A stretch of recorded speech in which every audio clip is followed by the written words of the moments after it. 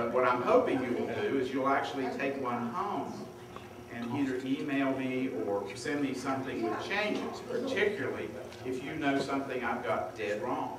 Now, if I miss a comma, well, you know, or something, I- that's not so important, but we, I've got lots of proofreaders who are helping me on commas, but, and I need the help.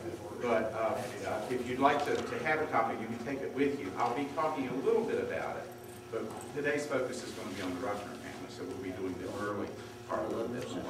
But let me, let give you number one. Here's a, if you'd like to stay online, and the advertise in the spring. It's more of a- But uh, we've got to work out some of those, those different issues. Uh, I, I did not put in that we were a National Historic District, and they said that's, you know, I said, oops, oversight. And there are several buildings there that do have national, uh, they're on the, reg- that are registered as national landmarks. Uh, So uh, I'll add that to, to the individual houses too. But uh, we're going to talk mostly about the Ruffners, and I'm maybe a little early, but I just thought I'd let that get out and people be able to, to get those. Let's see, has anybody didn't get the handout?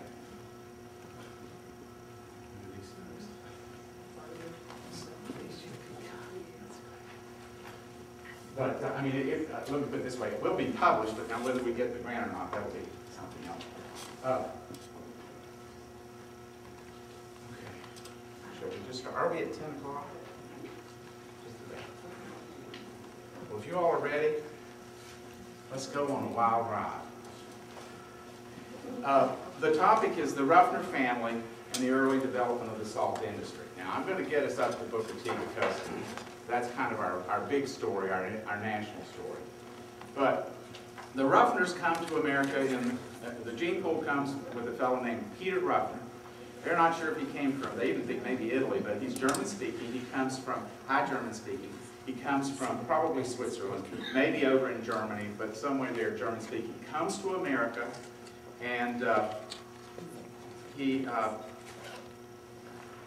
sort of like George Washington, I call it the handsome, good dancer uh, syndrome. He's, uh, he's tall, about six three, good-looking man, and he's here seven years, and then marries one of the richest men uh, in, in, in Lancaster County, which is Pennsylvania Dutch country, a daughter. And uh, he uh, uh, is there seven years, and the family, has- some have speculated that maybe he was an indentured servant when he came. But, uh, and he goes to Pennsylvania Dutch country. Now remember folks, Dutch is Deutsch, is German. So that's a huge German settlement. And his fa- father-in-law was Mr. Steinman, Steinman. And he gave his, uh, his daughter and his new son-in-law a large patent that he got from George II in the Shenandoah Valley, oh, in the Valley of Virginia. You know, local historians, we like to say Valley of Virginia, but uh, in the Valley of Virginia. And it was a German settlement. So they set up shop there. They have a number of children. And what's interesting is, it, is that the oldest child seems to be the one that kind of gets the property and gets things going. But they have uh, six children, and the oldest is Joseph. And uh, Joseph uh, expands the, the estate. He likes to buy property. He ends up buying something like four miles worth of property around Luray, Virginia. Yes, the Ruffners discovered, it's called Ruffner Cave, but it's actually now today Luray Caverns. Uh, So they're there and things are happy. David is his oldest son. Of course, we all know David is the first salt industrialist we have. But David uh, is there, he's married. The other five sons are not married, uh, but they're all grown, living with Papa. And in, in, in 1794, two of their barns are burned to the ground. Now, uh, David has married a Mennonite, a German immigrant's uh, Mennonite minister's daughter, and her name is Anna Brombach. And so these folks, uh, uh, I saw one track where George Washington went into this area and tried to get the people, Mennonites, you know, are, are, are anti-war, and they also were anti-slavery. Uh, tried to get some of these folks to help uh, join the militia to fight the Indians, and they wouldn't do it. The Quakers were in the area too, couldn't get them to do it. It was very frustrating because George Washington couldn't understand. But, so the, so, so Peter's there, Joseph gets his lands, uh, pretty much, and, uh, Peter does have other children, they go elsewhere. But, but Joseph is a major miller and sells everything over in Fredericksburg. And he has these huge Conestoga wagons like they used in Lancaster County. Six horses would draw these huge wagons covered with, with bear pelts. So, in, so there, David is, their family is German speaking. David Ruffner speaks his whole life with a slight German accent. He learns English from a store, spoken English from a storekeeper in the area, uh, who was a Scotch Irish. He uh, uh, has, has children, he has three children, and when his father, Joseph, says, hmm, two barns have been burned, he testifies against an African American. I don't know if he was a slave or not a slave, uh, sometime before this. And there's a thought that perhaps this is the person who would burn two of his barns down. So he thinks, I, I, I want to do something different with my life. Now, at the time, I want to, I wrote this down. Uh, at the time, he's 55 years old, and he says, you know what, I think we'll go, go west. And so he, he gets on a horse by himself in the spring of, of 1794 uh, and goes over to Clifton Forge and he see and he, he meets a fellow named Colonel John Dickinson. Now please understand that there are two different Dickinson families coming from Virginia. One's from Bath and one's from Bedford County and it's accidental. And do they both marry Shrewsburys? Oh yes, everybody marries Shrewsburys. No question about that. Must have been lovely people. But anyway, so it, it, it it gets, it gets so tangled. All right, now, so he comes on horseback, and there's a wonderful account that he gets to the Gauley River. He's the first whitewater rafting person, perhaps. You know how we say that Mary Ingles is the first salt maker in Malden? Well, here comes Joseph Ruffner, 55 years old, with a horse and a backpack or some sort of pack, and he has nails in it. And this fellow says that he sees him do this, that the water in the Gauley is high. And uh, this is in the autumn, so you, you know, you, you're going to get some water. And what he does is he, he gets the nails out, he nails up a raft, takes rope out, ties it to the tail of his horse, pushes the horse in the water, across they go, he gets across, the horse gets out, he gets out, he dismantles the raft, which was from, apparently from a, a fallen chestnut tree, dismantles it, puts the nails in his pack, and goes on. Okay, now this is after seeing Colonel John Dickinson. Well, what did Colonel John do? He saw a man coming with money, $2,000 worth of money. He says, look, you want to go into the iron business, but what you want to do instead is go into the salt business. Think about it. You could make salt at this Buffalo Lick, this salt spring, that I've got a patent of 502 on. You know, riches are untold.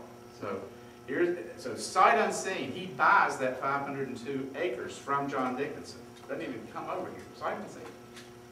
And he pays $2,000 for it, basically, which is a lot of money, in my thought. Uh, But there's a little carrier clause on it that says that if you make salt and it's successful, then you owe us 10,000 pounds. Now wait, they, they show it as pounds, 600 pounds equals, they guess, about $2,000. If you can make salt on it, 10,000 pounds. Now, I can't do that math, folks, but we're talking not $2,000, but in the 20s probably, or more. Lots of money with this rider clause. Well, okay, sure. So he goes over, when he gets here, he sees the Kanawha Valley. And who's here? You've got Fort Lee, we all know about Fort Lee. The Clendenins are here, there are like 12 men here, and some have families. And the Clendenins make up, and the, the brothers and dad, Charles, make up uh, half of the, the garrison here. Now, of course, Point Pleasant's already happened. The Indians are no longer, the Native Americans are no longer a threat in the Ohio Valley because of what happened in Indiana at, uh, uh, uh, with uh, Mad Anthony Wayne. So it's safe here. The Clendenins set up a town. They lay out lots, and so actually the prior owners lay out lots right at the Elk River, where the Elk River comes into the Kanawha. She said where they're building a new hotel, something like that, somewhere in, the- in that area. And they figure everybody just gonna run, you know, coming to, to the Elk River in Charleston, the Kanawha Salines, and we're gonna do fine. Nobody comes. Uh, there is, no- there are no people, settlers, Native Americans, or anybody else that live between the mouth of the Elk River on the Kanawha and Point Pleasant. There is a settlement in Point Pleasant. So there's nobody here.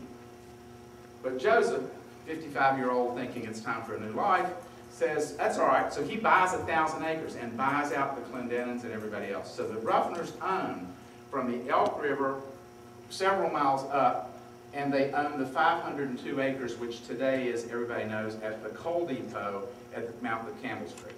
Or as we say, at the Campbell's Creek stoplight. That's, that's, that's its famous designation. Now, so he buys, and this guy likes to buy land. Within a year, he buys another 6,000 acres right below Point Pleasant. Now, he bring, he, and then he goes, of course, he goes back home. This happens in the spring. He goes back home and he says, we're moving.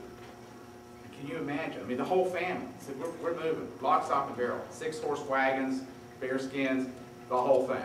So they move here in the fall of 1795. Now, I gave this talk a, a week or so ago, and, and I keep saying it's 1975 or something, so somebody, you beat my designated wrong century, Larry, but anyway, I get numbers mixed up, I'm dyslexic. But anyway, so in 1795 in the fall, they come here. David, it takes a little while. He's got kids and a family, so he kind of ties up his affairs. He comes in 1796. Now, so what do they got? They've got the salt property, Salt Spring property. We call it the Buffalo Lick because it kind of takes us back to Native American days and Mary uh, uh, Ingles uh, making salt there time. It's, it's really just an outcrop of salt. It's not very good. I mean, if you want to boil it down, it's not strong enough. So they figure, well, if we can just dig down a little bit, it may be good. Joseph has this dream of a salt industry. Joseph dies in 1803. I mean, he's only been here since, since 95. Here's this vigorous, healthy man who dies in 1803. Well, in his will, he says, okay, I'm going to divide up the, the lands basically between three sons.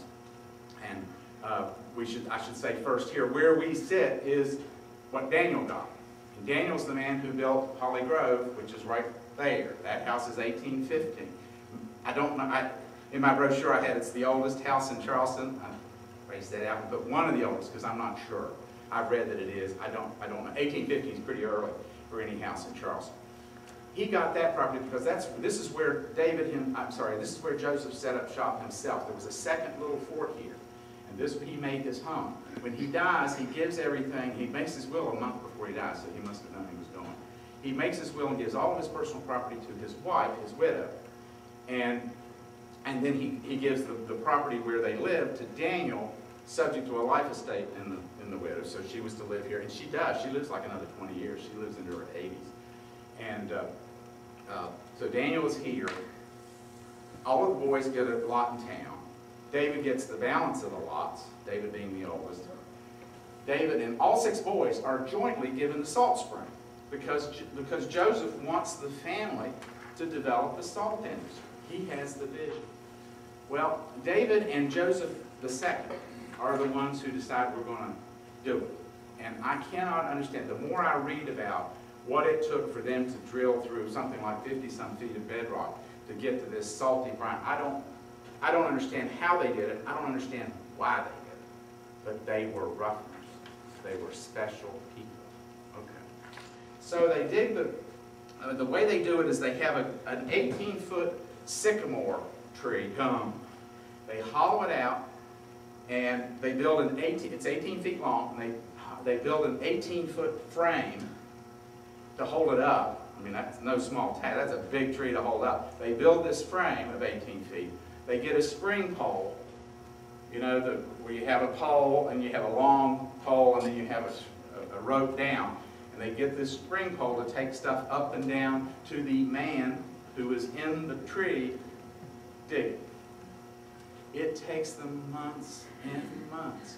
But the reason they keep going, this is real important, is the deeper they go, the thicker and stronger and richer the salt is. And they know, look, we can't make salt here on the surface. Who is our first salt maker? I had in my I had in my brochure I said first salt industrialist. Davis was the first. David was the first salt industrialist, and I was helped by some. But then another place I said first salt maker. Wrong. The first salt maker was Elijah Brooks. Why? Because Joseph leased the salt spring to him to make salt. What did he do? He got kettles like this, put some lumber under it, made some salt, sold it a little bit. I mean, it was a small, it wasn't industry, industry, that's for sure. So they go down, and there's there's one account that says it takes like like something like eight to ten hands. Now, does that mean is that one person, or, or, or is that eight to ten people, or, or four to five uh, people, I, I don't know, but hands to dig this. And they keep going and they go down. And, and they use some primitive tools, and it's not like they're using a spoon or anything, or wood. They have some drill bits. There's black blacksmithery in West Virginia, and in the old Malden was a very, very important, not just for shoeing horses, but for almost everything you needed to come from them. So Joseph gives the property, David and Joseph II drill down, it's 1807. Uh, they, it looks like they're really gonna make it. And by the way, the first time they set up that whole operation, they went down, they hit bedrock, they said, oops, let's move. So they moved it over and they set it all up again, start going down, hit bedrock again, and they go, well, let's go back to where we were because it was, the water was running pretty good. We'll- We gotta go through bedrock, we'll go through that. So they, but in, in, in the fall of, of eighteen, of eighteen oh seven, now, so you get a perspective, Thomas Jefferson's president of the United States. Lewis and Clark just came back in 1805 from the Northwest. Uh, Further identifying to the, to the Ruffners, look, we, with this river out here, we can ship salt to Montana, which wasn't even named, we can ship it to New Orleans. So the river was the, was the, the mastery of this whole industrial setup. So they, by, in the February, I think it's February 1st, but anyway, February of '08, they actually start production. They build, in, in the fall, they see it's gonna work, they build a, a, a- they start building their kettles. It's a pretty rough operation at first, but they start producing enough salt that they reduce the price of salt from five dollars a barrel to two dollars a barrel. And so they basically start making the monopoly. By eighteen fifteen, this is, somebody help me with math, seven years after they go down here, there are 52 salt furnaces on the Kanawha River in this Kanawha Salines. What happened? Well, the, the War of 1812, a lot of the salt was imported from, well, if you remember, salt was, was one of the there was a duty on salt, and that's why we threw everything into the first Tea Party, threw it into the, into the Boston Harbor. Uh, the, this, the, uh, uh, and the British imported a lot of salt, especially along the seaboard. But once the War of 1812 started, there was no more importation of salt, which was wonderful for us. You know, sometimes you can make money on war. Well, they made it. And so they had unlimited uh, monopoly on salt production, particularly in the West. But they also had wagons that took it east. I mean, they sold on the East Coast too. So they become very wealthy. Uh, uh, and, and in 1817, David Ruffner says, you know, I, we, I just can't afford to keep paying for the, the lumber that goes under these furnaces. We gotta come up with some better way of doing this. These farmers are getting outcroppings of coal, why don't we use coal? So the Ruffner family starts the coal industry in West Virginia as a fuel source for their furnaces. Doesn't work very well. Why not? The coal slide gets on the grates or something. I'm, I don't, my brother's the engineer, I don't understand exactly, but, but it built up coal slide and they couldn't get it off, it would damage the, well, who else? 1828, Dr. Henry Ruffner, who was one of the people in that gun when he was 17 years old, by the way. Dr. Henry Ruffner, well, he's not doctor then, but in 1828, he comes up with an innovation that eliminates the coal slide. And so then everybody uses coal. Now, this is a man who, I mean, Henry we're going to talk about in a second, but I mean, he is, he is the genius. Anne Royall in 1826 writes a, a book about the Kanawha Salines and everything. She said there's only one genius here, it's Henry and she was right. Uh, but anyway, so, so in 1817 we start coal, but something even more important perhaps to the history of America happens. There's a fellow, eh, there's a fellow named Joseph Lovell, whose father is an English lord. He dies in England. He and his sisters come with their mother, who marries a merchant named James Bream. Bream Oil? Yeah, big, really wealthy man. I mean, this fellow was, had unbelievable Lived in Richmond. Joseph Lovell comes over. He's an attorney. And the Lovell family is still here. I had the privilege of actually holding a letter, I get goosebumps, that Joseph Lovell wrote to James Green, his father-in-law, saying, we have organized the Kanawha Salt Company by organizing the salt makers into a trust, well, he doesn't use the word trust, into an association so that we can make salt more profitable. Well, what was happening? By 1817, they were cutting each other's throats. There were too many furnaces. But instead of two dollars a barrel, they were getting they were getting under 50 cents. I mean, problems were happening. Joseph Lovell is a legal genius. Now, we got some lawyers in the room, and I see one or two. We can appreciate how, in this time period, and- they, by the way, in law school, they don't teach you the history of law unless you just want to reach out and and bring it to your to yourself. That's not a, a, a key subject. But in the history of the law, uh, there are no business trusts until Joseph Lovell invents this, this cartel for the Kanawha Salt Company. Well, what does it do? They said, look, we, we all make the same product. Why don't we do this? Why don't we fix prices, select markets, and limit production? Keep the price up, everybody gets rich. We all get rich together instead of cutting throat. We're happy. We're, always remember the Dickens and Shrewsbury's, that, that firm never went into it, but they did individually, but not that firm. So in 1817, the Kanawha Salt Co- Company is formed here, association is formed here. It's called a company, but it is an association of salt producers, and is the first business trust in the history of the world. Okay, and you go, oh, come on. See, what the Ruffners are doing, and what these people here are doing, is everything they do is the first ever done. Because, because they're on a frontier, not a frontier of woods and trees. They're on the frontier of industry, of social relations, worker relations, on the, the frontier of religion and churches and schools and everything we see today. They were pioneers. They had to just do it. All right. So you've got, the, and the, of course, David's right in the middle of it. So David and, and the Ruffners are, are a part of the salt company, the first business trust. And when I say business trust, you know, this is what the Rockefellers, the Goulds, the Hannas used, at Carnegie used uh, uh, to control production and to get rich at the turn of the century. We outlawed it, Sherman Antitrust Act and, and other laws. It's, it's illegal in America, but every time you pull up to a gas pump, folks, you are there for the Kanawha Salt Company. Just wish we had the money.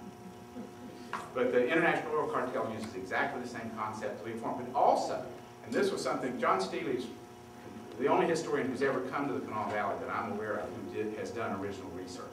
He has wonderful books. If you haven't read them, you got to. He's got one on the, he calls it The Prelude to the Kanawha Salt Monopoly. I can't remember the name of the book. His book names are always very long. But he writes about the Kanawha Business Trust and identifies uh, uh, that it is the first, there were thoughts that it was formed after the Civil War because it became popular His research shows that it was done here first.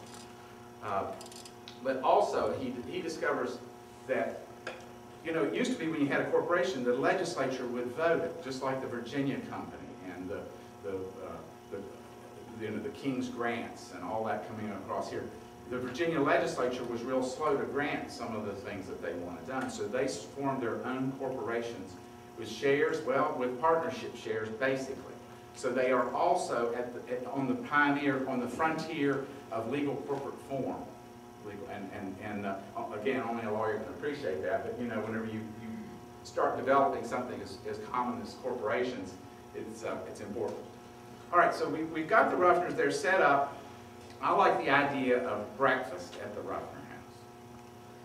You've got David, and you've got, and by the way, that he, he lived in town at the time because there's no mall, there's just that salt spring upriver. David, his wife, the daughter of a Mennonite minister. You say, Larry, that's the second time you said that. I know I say it three times, I think, in the brochure because I'm trying to get it into my brain. It matters. And then you have around the breakfast table, you have Henry Ruffner, one of the most remarkable people in the history of Virginia and West Virginia. You've got Lewis, his seven-year younger brother, who of course married Shrewsbury, then married Viola, and they're the, the household for Booker T. Lewis was the industrialist and, and took over the companies in, the 1920, in 1823. Then you've got Anne Ruffner, who marries Dr. Richard Putney. And everybody might remember the Putney house. It was the Coleman and Jeter law firm. And now the Coleman family lives in the, in the house, the beautiful federal-style white brick uh, in the middle of Malden. Uh, and, and, uh, and he's the, Dr. Putney is the one who helped lay out Malden as a salt or subdivision with David Ruffner. So, and uh, so, you, you know, that breakfast table has some of the most important people in the history of this area, but also in the history of the state of West Virginia and of old Virginia, and in the history of the country. All right, you say, oh, now Larry, wait a minute now. Well, let me just do this with you. The Ruffner family has pioneered, in the brochure you'll see it says, the Ruffner family has pioneered every single thing that you see here. Everything. You say, well, they were the first. Like, well, it goes beyond being first. I mean, there's lots of first people around. The place, got a lot of other people who could have helped, but what did the Ruffners do? They, they were pioneers in industry. They created a salt industry here, the vision of Joseph. Created a salt industry here. Just think in 1850, there were 50 salt factories on the Kanawha River, and they weren't little furnace operations. They were buildings as big as this. This is a little exaggeration. But they were large furnaces, 50 of them. Of course, in the 1850s, that's when the salt business starts going bad. They were the first drillers. This is the first place that you have deep well drilling. The, the, the, uh, uh, the Morris jars drill bits still used today. But the procedures and the processes and even some of the tools that the Ruffner developed in their processes are used today for drilling. Whenever the, the, they wanted, when Drake wanted to open the Pennsylvania oil fields, he came down and got two Ruffner drillers in 1858, 59, right before the Civil War. And they're the ones who drilled the first oil well in America because everybody knew that the Ruffner drillers were the best. Okay, drilling. The coal industry, we already talked about. Uh, the innovation. Every time they, they lit a fire, they were thinking about how they could use less fuel, do it more efficiently, how they could barrel it up, what they could do. So innovation, and, and, and, and I said Professor Steele has that book on the, uh, the antebellum trust industry. He also has written a book on the antebellum salt industry, and it is remarkable. You've got to read, it. it's fascinating read. It has a chapter on slavery that's just knocking your socks off. He is, uh, I mean, he, he went into the courthouse records where there was a lawsuit and people would talk about things, and he would figure out what people, uh, the, the uh, amounts that were paid for slaves, uh, what, what was expected, the leases of, of slaves from Virginia into the coal industry and so on. Uh, they also understood worker relations. They paid by the barrel. You got paid by the work you did. Uh, equal pay. They used integrated housing. Whites and blacks lived together uh, in Malden, particularly at which is where the Campbell's Creek lake is. And they, they understood that the, nece- the necessity for building a community to feed the production. That's the old coal, coal, coal baron concept, where they live, and in Malden, the, like the Dickinsons, the Ruckers, they lived next door to their salt works. It wasn't like you lived in Charleston in a fine house, and then you had a factory somewhere out of town. That wasn't the way they set it up. They lived where they, and of course, David moves out to Malden, close to the salt spring. Oh, I didn't tell you. Remember that rider in the deed with the Dickinsons? The Dickinsons remembered it too. But David thought, well, I can, I, uh, George Alderson, George's Creek, George Alderson, George Alderson owned the tract that is basically Old Malden today. In other words, from, uh, and, and Old Malden is right there, you know, where the strip is that you come in from the Dickinson farm east. And I, I, I, I understand from the Dickinson family that Richard Putney owned and had a salt works there before the Dickinsons, by the way. But the Dickinsons don't buy that property until 1840, so they're fairly late coming to the, to the party in Old Malden. David buys the George Alderson tract, which is right adjacent to the 502 acres. So where does he put his salt? On the Alderson tract, just a few feet away from the Dickinson tract. Did it work? Well, no, they litigated it from here till the cows came home, of course. And, and David ends up paying it off in some way.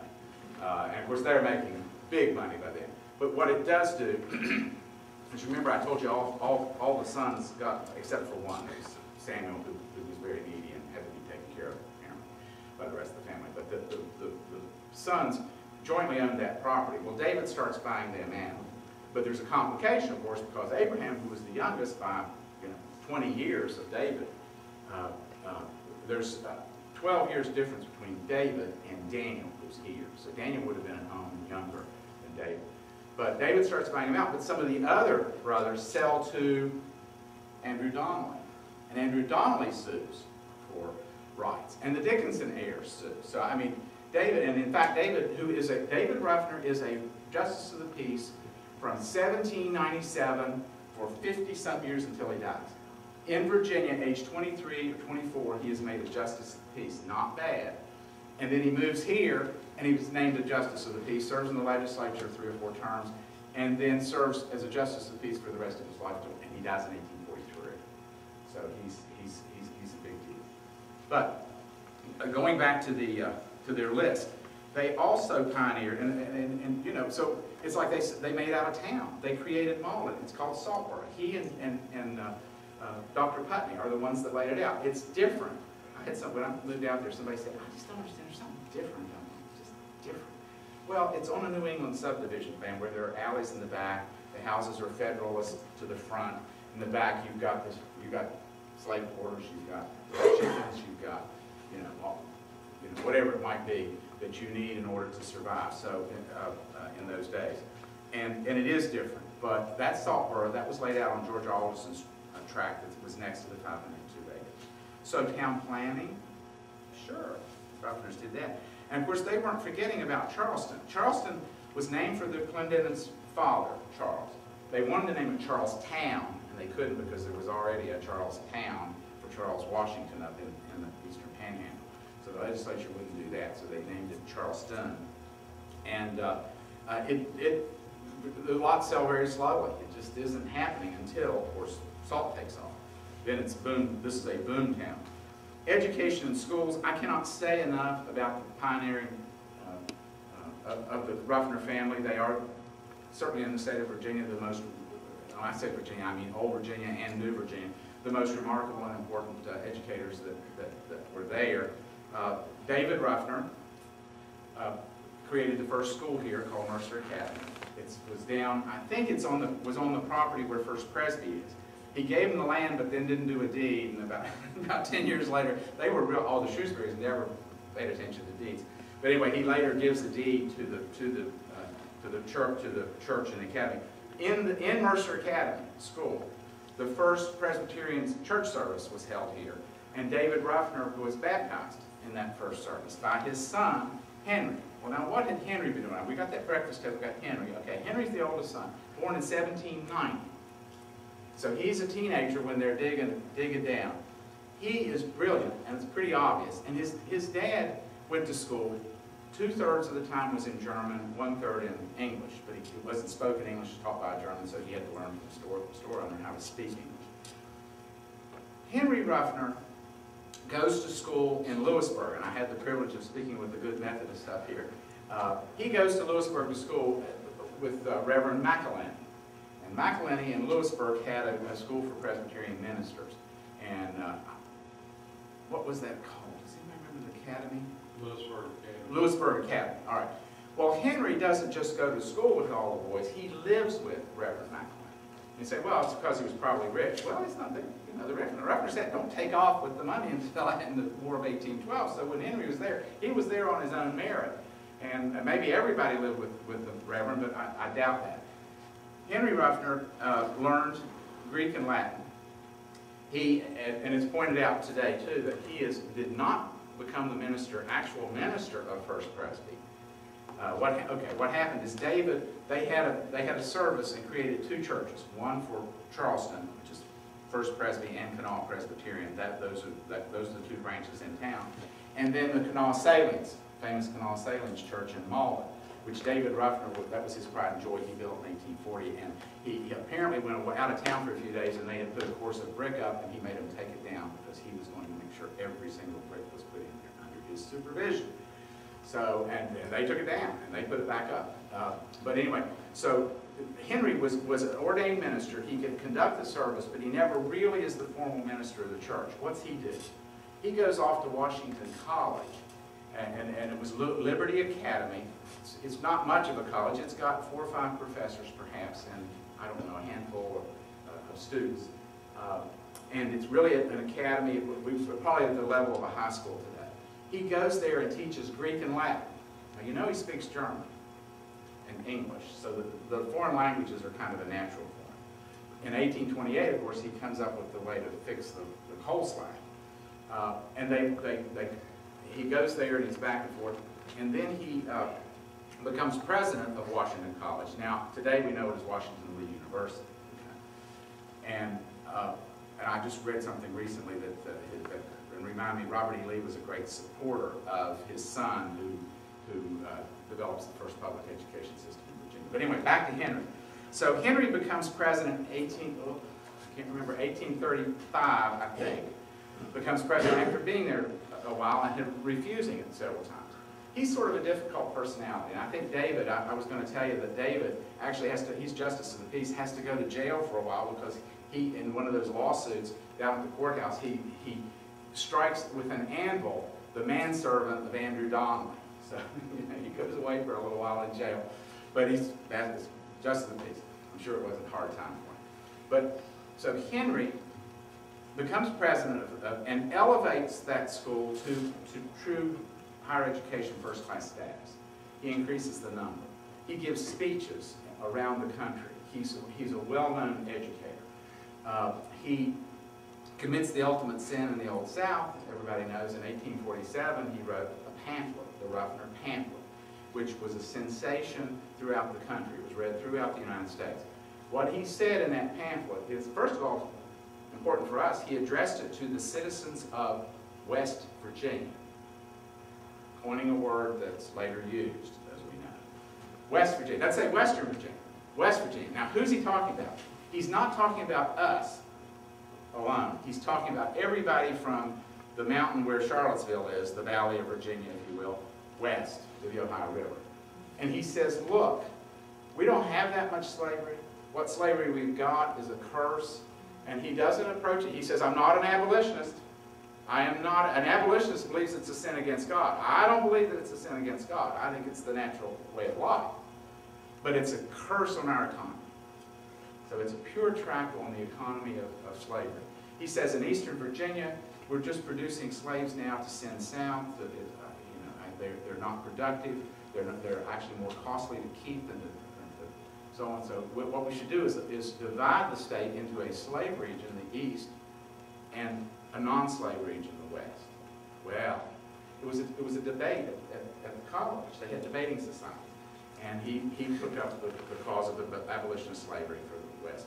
And then somebody was opposed to it. There was a fellow named Letcher who, who supported Ruffner and even gave him money to have the, the pamphlet published, who in 1860 or 61 runs for governor of Virginia, and they use it against him. They say, oh, you're one of those Ruffner pamphlet people. And the Ruffner pamphlet becomes the most important political issue in the, the election for governor.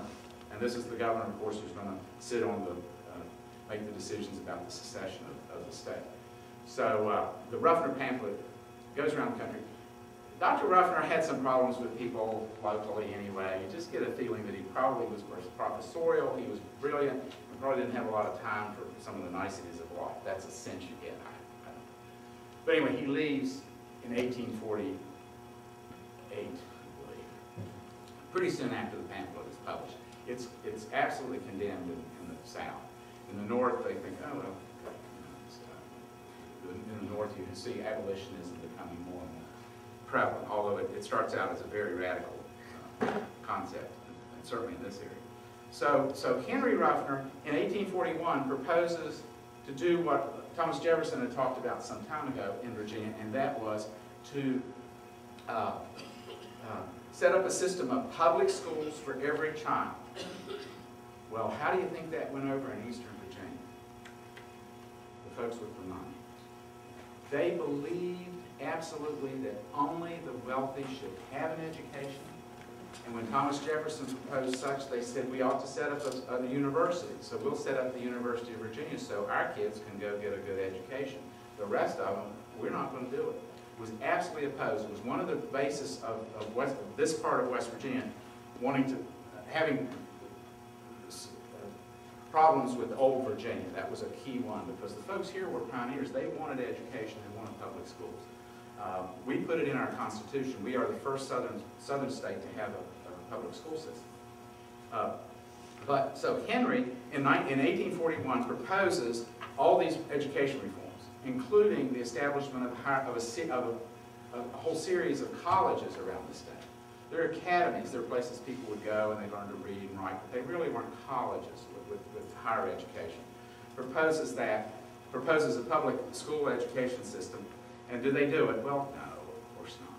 But interestingly, in the, um, he has a son named William Henry Ruffner. William Henry Ruffner is, uh, was called the Horace Mann of the South. He is, he never lived here. We have, we claim him as a favorite son, but he, he did not live in West Virginia or in this, in the Kanawha Salines, as he would say. He was educated, he was a Presbyterian minister, he was really his father's son in most all ways. His father was always a unionist. When the war, and he's a unionist. And uh, I read this one track about the Ruffner pamphlet, let me just say, that the Ruffner pamphlet was designed to change the people's attitude and to keep slavery out of any growth into the Valley of Virginia or Western Virginia. But that was the purpose of it. And this, this one commentator says, if it had succeeded, just think how the Civil War would have been different. Virginia would not have succeeded. There would have been a Civil War that would have lasted a few weeks or a few months because it took Virginia to make the Civil War a real war. And partially because of the leadership that was provided by Virginia, not just the resources, but the leadership of, of Stonewall Jackson. He lived in Lexington. He was a neighbor of, of Dr. Henry Ruffner, the president. Uh, if you had taken him out of the war early, and of course, if Robert E. Lee had not gone over, we don't have a civil war. You say, well, do we still have slavery? I don't know. We won't go there. But this fellow made that, that, that had he been successful in convincing that part of Virginia to not, but what his son did was what everybody else did. He was a Unionist until Fort Sumter, and Lincoln sent the call for 50,000 troops to go into the South to take care of business, and uh, he switches to a Confederate. Jo- Joins the Confederate Army, actually. His son does, William Henry, who has throat problem, had to stop preaching at a major church in Philadelphia where he was, because he had a throat problem, and he's, and he's not ever been in great health. So he goes to start, and he's out the first time he can get out, he's not really been here at all. When the, when the North wins, they require all of the southern states to establish public school systems. And Virginia had 30 days to do it. So they go to William Henry and they say, you got 30 days to give us a, a, a- public school system in the state of Virginia. It takes him three weeks, not 30 days. In the first year that William Henry Ruffner is the superintendent of public schools, he has 130,000 students in 2,900 schools. You say white schools, uh-uh. He absolutely relentlessly fought for black schools to be equal in Virginia. Were they? Well, you know, you had a broken economy, you had a broken spirit, you had people who were angry, who, who, who had lost much of the values that they thought they had in, in slaves. So he had a lot of opposition, but he was relentless. He was there for 12 years and then they got rid of him. But in that amount of time, he became a national figure and is known as the Horace Mann of the South because he, he was the first in any of the Confederate states to set up a public school system. He did it quickly, he did it efficiently. He traveled, somebody calculated that he traveled something like, it just can't be, 5,000 miles a year uh, on a horse to go around the state. He was everywhere. He apparently, I haven't tracked this down in Hampton, apparently was a speaker twice at Hampton Institute where Booker T was, when Booker T was there, because he would have been the superintendent of uh, schools. Okay, so Virginia Tech, to honor William Henry Ruffner, Virginia Tech's most, their highest service award is the William Henry Ruffner Medal. So if you, your great service to Virginia Tech, you would receive the Henry Ruffner, William Henry Ruffner Medal. So in terms of education, I don't think you can, I don't think you can top the Ruffners. Uh, he basically did what his father had proposed in 1841. Uh, he set up, helped, was uh, set up Longwood College, and the, the main building there was named Henry Ruffner Building. It burned, and I think it's been restored. What about government? Well, David was a magistrate, was elected to the General Assembly in Virginia. Lewis, uh, his son, who he turned the industry over to, his business over to in 1823, I think. Uh, Lewis was in the legislature for a while, and then, uh, um, so we've got town planning, we've got government. Oh, they helped create a state. Lewis Ruffner is our delegate to the state convention to create the state of West Virginia. Not bad. Uh, he only talks, though, to, to propose compensation for slave owners. Uh, that's about the only time he says anything that's, that's recorded. Uh, They, of course, do town planning. Uh, They are just the leading family in terms of government and, and establishing uh, what we have today. They were also militia. David Ruffner was the current, was always called Colonel Ruffner because he was the head of the local militia. Uh, The, uh, in terms of, of their uh, socioeconomics, uh, certainly the, the David, uh, Henry Ruffner's pamphlet uh, on the economics of slavery is a remarkable piece, and he was right, by the way. If Slavery was, was an institution that was, would, someday would have come to an end. Uh, The, uh, well, They took the Civil War, and that's what the war was about. I know, I think it's, uh, Professor Conley says it was not about slavery, but I, I think he's dead wrong on that. Politics, the Ruffner pamphlet, uh, uh, uh, social, in terms of social relations, David Ruffner always included blacks in his churches. You say now, his churches. He, and there's a phrase in the family, much of this, what I'm getting of the early Ruffners is from the Ruffner family. Apparently, it says that he would fence off areas, okay, for inside of a building, he would fence off areas for blacks. That he was always concerned about their, their religion and their, their, their well-being. He, uh, when, what he did is he built a church in Malden on his property and let any religious group use it that wanted to. So he established not just the Presbyterian church, but churches in our area. Remember, you know, there was a great awakening, I, I think that's what it was called, where there was a re- religious revival in America, but around the turn of the century in 1800s, people weren't very interested in religion. Religion was the old Episcopal church that they didn't want to pay for, and they just assumed not have anything to do with it. It was also a difficulty that they had with, uh, I'm an Episcopalian. Uh, the, uh, they also had difficulty, a lot of them came here, their families came here within a generation or two because of religious strife. So they, they, religion was not real popular here. Uh, in the, the Canal State Church, everybody talks about the slave balcony. That's, that's, was intentionally built, uh, uh, to be that. Legal, of course, the, uh, we just talked about corporate form, business trust. Uh, Is there anything, can you think of anything that they forgot? I have trouble. I, I, I would be happy to be helped with that. The Ruffners did it all. You say, no, wait a minute, we were talking about that breakfast table. We've got David, we've got Dr. Henry, ultimate Dr. Henry. We've got Ann, who married the doctor and laid out the town, and he was a very prominent physician, and he lived a long life, and, and was a part, had a store. You know, there was a murder in Malden. Uh, uh, after we became a town, we had a peace officer who was murdered on, at the corner of, right now, it would be at the corner where the Stevens and Grass Funeral Home is, that corner. Uh, there was a shooting, and, and, and old uh, Richard Putney was, was there. He was not shot, but uh, he was there at the time, thank goodness. And then you've got Lewis. Well, Lewis. Lewis Ruffner is kind of, you know, he's seven years younger than Henry, certainly not the, the, the brain that Henry was. But he's very important because he establishes really worker relations. He's the one who sets up the integrated housing. He's the one who encourages the African Americans that become the African Zion Church after the Civil War in 1852 to start meeting together as a religious community of believers. Uh, Lewis has the property, you know, David built his salt works and his farm right there where the, the circle is in Malden. Do, do people know what I'm talking about, the No. circle? There's a, there's a, there's a circle of houses that were built after World War II. And the effect is if you can go in your mind to the Campbell's Creek stoplight, to the mouth of Campbell's Creek and the Campbell's Creek stoplight, right there, there's flat area that goes up Campbell's Creek and around. That is the original 502 acres. okay? And then the Alderson tract brings the Ruffners on around, and they have all the property up to where the Dickinson farm is.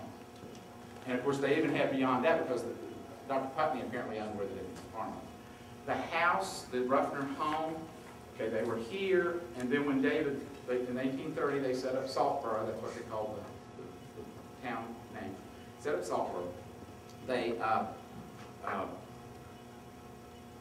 they built their house, it was, it was a white frame house. There is a picture, I got so excited, I got on eBay and I found the first chapter about what magazine that discusses Malden, about from slavery, where it was first published as a serialized magazine piece. And it said in the thing that there's a picture of Booker in front of the Ruffner house. Well, I just about, I mean, I looked at the, I, I waited. just, it's like, please. Well, it's a picture of Booker there, but he's standing next to a tree and you see I mean, there's, there's not a a quarter of an inch hardly of the house that you can see, except you can see that it's a white frame. And Marty Cole, who's a local historian, she's 90, uh, 91 years old, uh, she remembers the house. She said that it was a large white frame house. Oh, by the way, Louis Harlan, when he talks about Booker T, people say, oh, he got to live in the rich people's house. Please understand that Ruffners were very practical, sensible people. They did not go into elegance. They didn't have big social occasions or so on. But they had a large house. It had a large library and a central hall, and you could sort of guess that it's, you know, like the way we build frame houses. Louis Harlan says that it was up on a hill and overlooked this vast domain. Well, it's a little old knoll. No, you know that in Malden there aren't, there aren't any hills unless you go up, up, up away from the river. So it sat on a knoll, and where it was is where uh, General Copenhagen lives. There's a, a nice brick home. It slightly elevates just the knoll, and, and you say, well, why was it there? It's the highest point on the river, and if you build on a river, you want the highest point on the river. And that's it, but it's just a knoll. So they live there. Lewis is there. His, his father gives the property, when he dies in 1843, he wills it to the two boys and, and gives some to, to Anne. Uh, and so on. But, basically, it's a division of the two boys give the property. And, uh, but, but Henry Ruffner, well, so Lewis has the business. It kind of gets tough, you know, they, they're not making money. Uh, uh, the Ruffners are always a major producer and different, and they would be in different groups. They'd be in this company, Hewitt Company, and then they'd be here and there. In 1847, he goes to Louisville to be a salt agent and stays about 11 years. And thanks to the man who's right here, Gerald Rapp, we, he gave me a newspaper article that he found. Lewis Ruffner in 1849 attends and joins an emancipation society in Louisville. So he too has real problems with slavery. And when he comes back, he's encouraging to the, to the, to the folks. It's Lewis who has the church in Tinkersville. Oh, Tinkersville is the African American worker housing area of the Ruffner property there out of Campbell's Creek. And they had a church, he, on his land, built a church with, or helped, had them build a church on his land with the legendary Reverend Rice. Reverend Rice uh, uh, continues with uh, the, uh, the church. Lewis helps them move, come from there to the middle of Malden in 1872, and they purchase a property.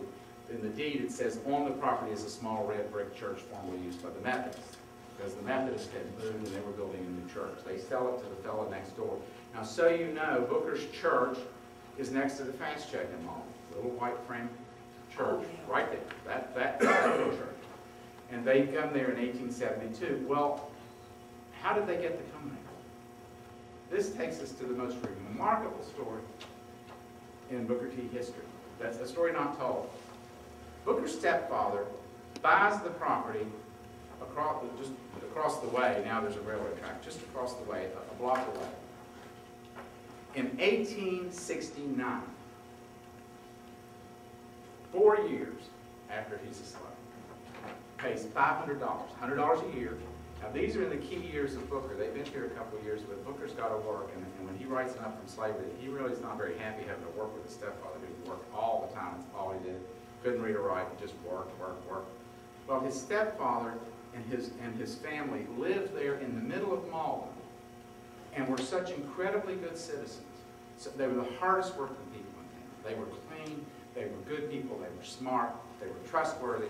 So three years later, they, they, the African American church, it's called African American, uh, the African Zion Church of Tinkersville, comes to Malden, to right in the middle of town. And I always remind them, I had a, a couple of school groups come through this weekend. I remind them, I said, now you think going to church is sort of going for an hour or two, maybe you go to Sunday school and then go to church? You know, and then you, and then you, you, you go to Bob Evans or something, have lunch, or go to grandma's room, and they're all going like that. I said, uh-uh, that's not what happened. On Sundays, you went all day, and your family brought two meals with them. Because that's where you got everything. You got the education, you had people come, politicians come in and speak, you got the word of the day, everything. All the sociability was through on Sunday. Think about it. Their, their houses are down at the Campbell's Creek Light. They now have to come to, think about what the blacks went through, what they had to do. They had to come to the middle of Malden, had very little property, by the way. The church sits on the size of the property, and it's got like three feet all the way around it. That church building was not there when they bought it. They built that later. And uh, apparently with help of Lewis Ruffner, who lives until 1880s. So the, uh, uh, you know, it's, it's just a remarkable story in that regard. And of course, you know, this nine-year-old boy, and we're not sure, nobody can figure out exactly when he went to live with Mrs. Ruffner.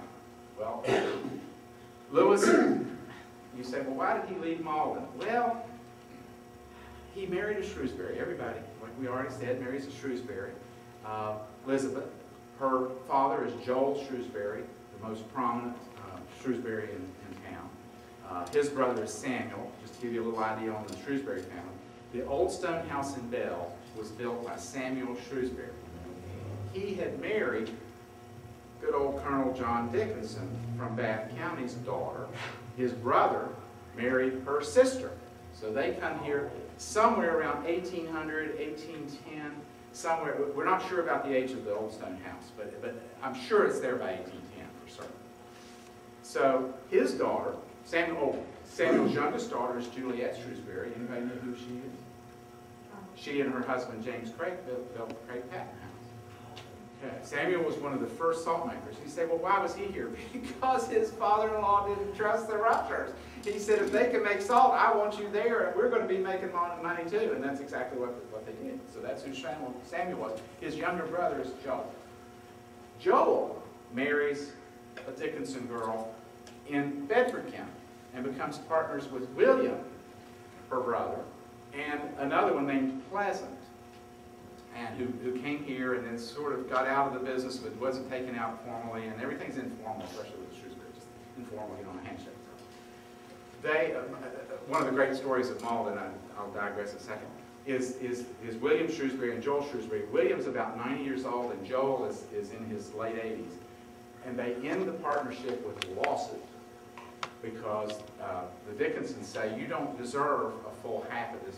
And he, and Joel says, well, I, you know, come on, I, you know, for 40 years we've had this business, this salt business, and, and other interests, uh, surely. And Pleasant left, and they said, no, between us, you really get at best a third. Well, the court case was decided, and Joel got, I think he got four tenths, and, and, and William got six tenths of the business.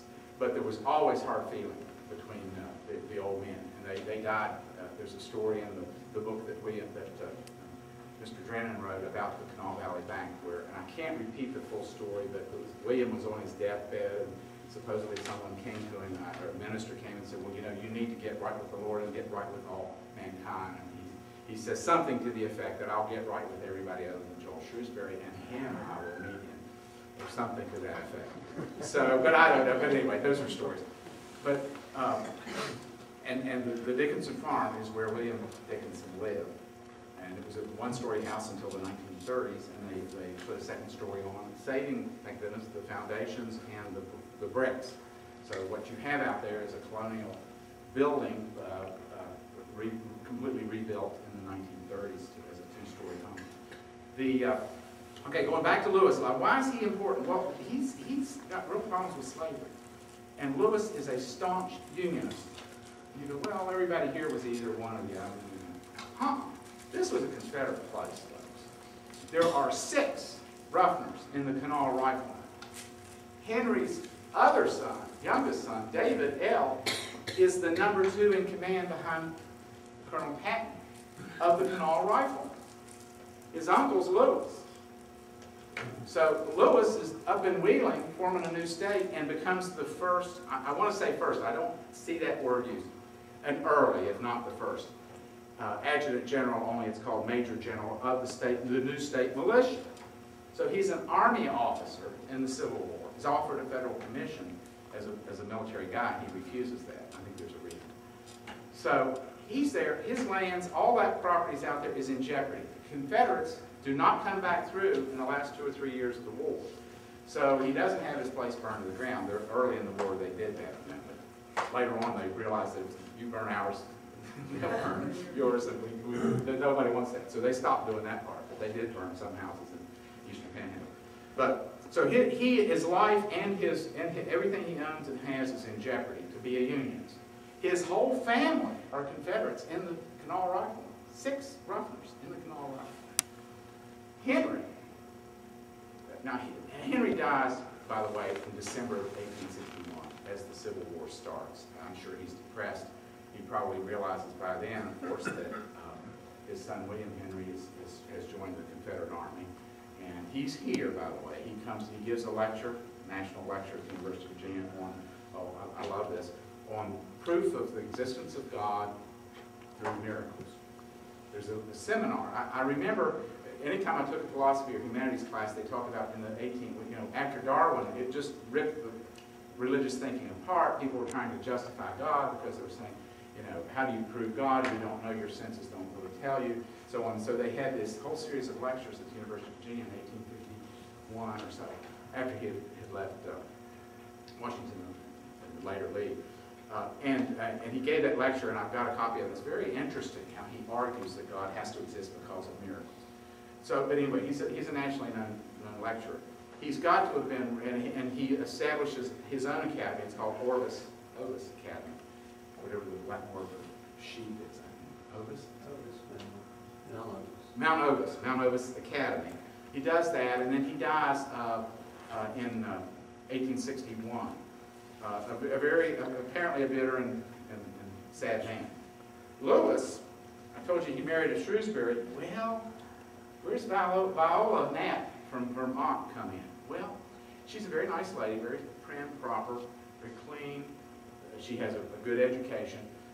When Henry's wife died, I'm sorry, when Henry's wife dies in 1843, the same year that his dad dies, by the way, he's having trouble. He's got kids. You got to go to 12, folks. Yeah. And you, you say, oh, come on, I'm, you got to you got to get in the mindset back there. There were standards and things you did and things you didn't do. Well, trust me, you didn't marry 11 months after the death of. You go, well, but you could. Well, the Shrewsburys never accepted vows, by the way. His, his Shrewsbury children did not accept this vow. And the book writes about that, and William Henry, who does a history of the family, writes about how sad she is, and that Booker's really one of these bright lights in her life. Well, of course, they go off to Louisville. She is buried in Louisville. Uh, Louisville, Louisville is important here because that's where a lot of salt was sold. Course, Cincinnati's there too, but Louisville was really the, the, the, the key business place. The Craiks moved to Louisville, know, St. John's Church and moved built Kanawha, the same house that they built here. They built there, it's gone. Ours is still here, thank goodness. Uh, so, so Henry, I mean, I'm sorry, Lewis is there. Uh, and of course, he comes back here, but he's a salt agent for one of the companies. That's what he does while he's there. While he's there, he joins that Emancipation Society. Uh, Lewis stays out of politics. He's in the Virginia Assembly a number of years. You're elected for one year at a time, by the way, very expense. You go Daniel Boone, spent a year, had an election, spent a year over there and came back and hated it. Uh, so, so Lewis, Lewis is the big guy in town. He's a unionist, but he also wants to help lives. Now, I think that the Mennonite thread in this family is very important. Say why? Well, we got the breakfast table. Remember, nobody talks about mom. Mom's father's a German immigrant, a Mennonite minister. They were strict people, you know, uh, uh, and years ago they dressed, you know, they were separate, something like the Pennsylvania Dutch, uh, the Amish, I mean. And, and uh, I think that she had an influence on her two boys to be questioning about slavery. Now they came in the will from, remember, Joseph willed three Negroes to his wife, to his widow, to live here at Holly Grove, well, what later became Holly Grove. Uh, he, uh, uh, so they had slaves. Peter probably had slaves. Joseph, we know, did because he, he has three listed. You say three? Right. They, and someone we were talking with as we came in, slavery was very unimportant in this area until the salt industry builds up and gets built on the labor of enslaved people. About 3,000 by the 1850s. We've got about 3,000 enslaved people here. Uh, about 1,500 are owned by the folks here. Uh, Dickens, well, uh, Dickinson Shrewsbury had several hundred in their operation. And the other half were leased from Virginia, which is how Booker's stepfather gets here. He's leased here as a, as, as a slave, escapes during the war from Lynchburg, and comes back here, which is a slave area, you know, because with the Emancipation Proclamation, we did not abolish slavery in, in West Virginia. West Virginia becomes a slave state. We all know that, right? I I went back and looked at it again. I didn't really, that's the Willey Amendment, all the things going on and on about that. We, we had to provide, Lincoln required them to provide for the gradual elimination of slavery here, so that was the Willey Amendment. But anyway, so Lewis, you know, I think that that connection is different for them. They never, not David, not any, not either of the two boys ever went in uniform. Even General Ruffner, you know, when he was offered a commission, fell on didn't take it. I think that Mennonite connection is really important for the morality of who the Ruffners were. Um, um, it Makes them somewhat separate, uh, makes them um, thinkers, and um, I think made them unionists and anti-slavery folks. Now, you know, they weren't abolitionists, they weren't saying it didn't but for their day, they were certainly way out there on slavery, and they deserve credit for that. So the sociability that we have today, is it an accident that Booker T. Washington becomes a great world leader? No. Not an accident at all. Where was he? He was in the most important family in the Kanawha Valley, in their house, with Miss Viola and Lewis. What does he see? He sees Lewis Ruffner get a brain injury, knock cold and get a brain injury when he tries to, to break up these night riders who are, who are having a, a, a fuss. Uh, according to Booker, it was 100, 100 uh, night rider KKK folks versus blacks and 100 blacks and their supporters. I'm not sure that's in, up from slavery, but I, I don't think that's exactly what happened. But anyway, he saw Lewis Ruffner get hit in the back of the head with a brick and get a brain injury from which he never recovered. He had to give his businesses over to his kids to manage because he just couldn't do it. He goes, he lives another 10 or 12 years. Uh, think I wrote that one down for easy, quick memory. I want to say 1830, 1883. Uh, when I was writing down births and deaths of these folks, by the way, the Ruffners lived long times. Uh, Joseph, who, who died uh, in his early 60s, he was 63, is about the youngest of the bunch, and the women lived as long as the men. It's really remarkable. Let's see if got. Henry, Henry lived to be 71. Anne Ruffner lived to be 59. There was another Susan who married Moses Fuqua, which is the name that pops up. And I what an interesting name. Well, one of David's daughters marries Moses Fuqua, and they make salt here and then move. And then Lewis. Lewis is 78, and he dies November 10, 1883. Uh, first European baby born at Fort Lee. Now, we'd like to say in the, I used to say in the Kanawha Valley, but we've got folks saying, eh, I wouldn't say New Orleans, you probably have a, a European baby born there before, before General, uh, before uh, Lewis Ruffner. We call him General because he was a Major General of the state militia. If you ever got a title of a military title, you kept it. It was Colonel Ruffner. And, uh, and Dr. Henry, how, did he get his title? It was, it's an honorary degree uh, granted in 1838 by Princeton University. And at their largest seminar, at their largest graduation ever, there's a newspaper article provided again by Mr. Ratliff that says that they had 75 graduates at Princeton, the largest class they ever had. They granted about six honorary degrees. Remember, there's nothing like a PhD until Johns Hopkins uh, starts in the, after the Civil War, starts a special education program and gives a degree of PhD, and that's where now our doctorates now come from. But at this time, if any school would, get, would bestow a doctorate upon you, that was your title. And of course, people were happy when they, Harvard bestowed the title on, on Dr. Washington, so they had something to call him. they didn't want to call him Mr., and they didn't want to call him President. So that's how that happened. Now, so Lewis Ruffner is an absolutely remarkable man. He jeopardized, he has his, his life and his family and his property in jeopardy in the Civil War. He's, there's nobody in his family that's really supportive of his position as he is. Uh, he's a delegate and, and a state maker. Uh, and let's see. And of course, I think the kind of race relations, and, and my topic a lot of times is on Booker T and the race relations in Malden, is, uh, um, I think is a legacy of the Ruffner family.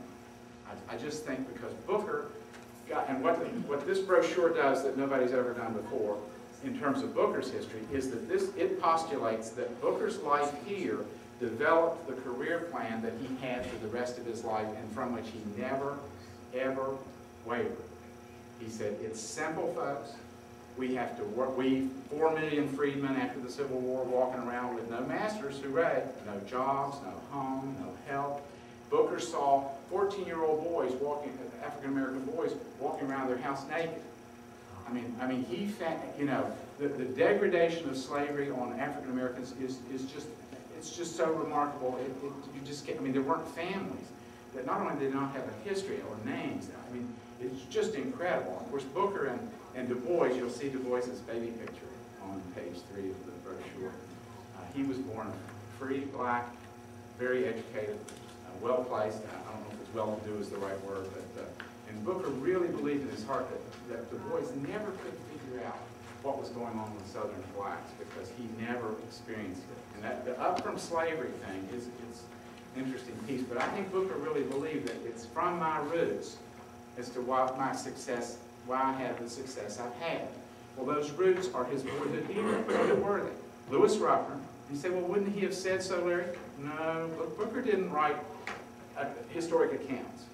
Booker wrote for a purpose of showing that, look, what I've gone through, you can go through, you can go through. Don't live for Saturday night. Save your money. Do it for your children and their children, and someday we will be a part of this country.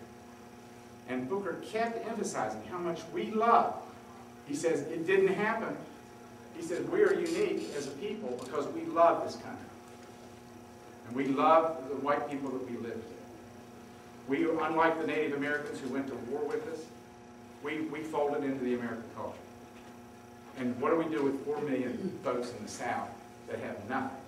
His theory was work hard, be clean. Always, every time he talked, he talked kids, he talked about toothbrush and why it was important. You know, always his toothbrush story. And you do it not for yourself, but for future generations. Once we become a, a valid economic part of this country, we will get the political and social rights that we deserve. you go, minute. It took seven generations or more for us to get the South to come around. Booker thought it was going to happen a lot quicker. It's true. Booker dies at age 59. Uh, had he lived like uh, Professor Du Bois to be 95 years old, um, or Leon Sullivan who lived into his 80s, he would Booker would have been up to the to World War II. He would have gone up to the Korean War almost. Tell me that Booker wouldn't have had a different imprint on American society. But he didn't get to. He's really a, the Andrew Carnegie of education, and he gets sealed in the Gilded Age. His icon of history is sealed in the Golden Age. Uh, we, we really, I don't know where you all were, but on, in November of 2008, when it was election night, and I can remember I was sitting on the couch, and John McCain, gracious speech, says, a hundred years ago, an African American named Booker T. Washington had dinner with the President of the United States in the White House. It created an international sensation. Tonight we have elected an African American President of the States. Now, that's something I never thought I would see in my, and I'm not talking politics. I never ever thought I would see that in my lifetime. I was in, we had friends in Belgium, we would visit, and they said, Obama can't win. I said, no, he can. I said, it's lining up. Watch it. And they said, oh, and they, they, they liked the, the, the, the, uh, uh, uh, the Clintons very much, and they were very much for I said, no, Obama. This was in the, right after the, uh, the uh, Iowa primaries.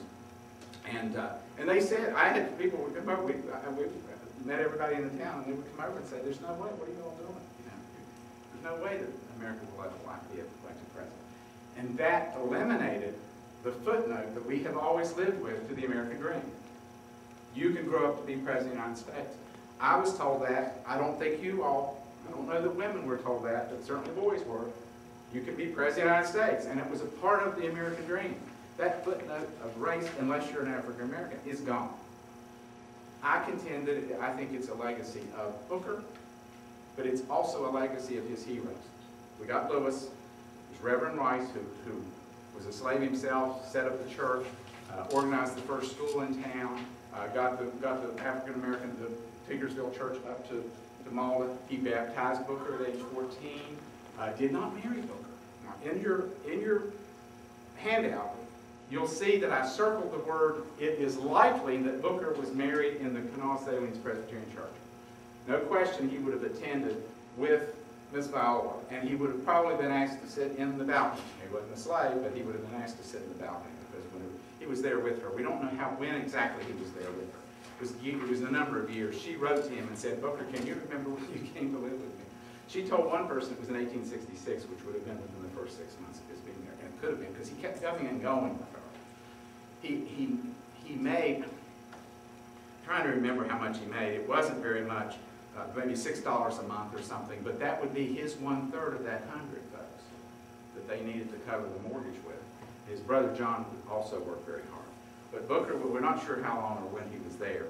Uh, uh, She certainly was Booker's hero. He gives her credit. But again, it's because he's telling a story. And the story is work hard, be clean, uh, work with your hands. It's honorable work. Remember that in the South, the culture of the South, to work was degrading. No white person worked. He talks about at the plantation when he was growing up, that the males didn't do anything, that they looked to blacks to do work. And he had to convince those four million freedmen that work is not only honorable, but it's, but it, it's, it's good, it's healthy, it's what you want to do, it's how you're going to become a full partner in American life. So he had to reverse the thinking of blacks that work was de- degrading, because they were the ones that had to do it, not the white men that sat on the front porch. So Booker's heroes would be Lewis, Miss Viola, certainly Reverend Rice, uh, the James family, C.H. James, everybody knows he was a major wholesaler, and the family became very wealthy at the turn of the century, uh, and, and, and, and continued to be in, in major business people in, in Texas now. Uh, the, the father of C.H. James was the, was the first minister called to the African Zion Baptist Church. He's there a little while, he then comes into town, forms another church uh, across the river, and then forms First Baptist of Charleston. It's First Baptist of Charleston, not West Virginia, because the African Zion Church is the First Baptist Church in West Virginia. So he had, he had, he had an opportunity to see people who were pioneers, who, who, who were different from other people, who were willing to take the criticism of their approach, who, who could be unionists in families of Confederates, could be unionists in towns of Confederates, uh, could uh, uh, withstand, you know, what other people thought of them, could write pamphlets about abolition of slavery, could join an Emancipation Society in Louisville, when nobody else was doing that, and certainly not other members of their family. And Booker's in the middle of it. That's where he gets his plan. And it's, it's, a, it's a plan that worked, uh, but it didn't work quick enough. And it took much too long. You say, well, why? Well, if you want to speculate with me for a little bit, remember World War I and World War II. If there's anything we learned about those two wars, it's that if you destroy a country and don't help them rebuild, you will get a country that does rebuild in a way that you don't want.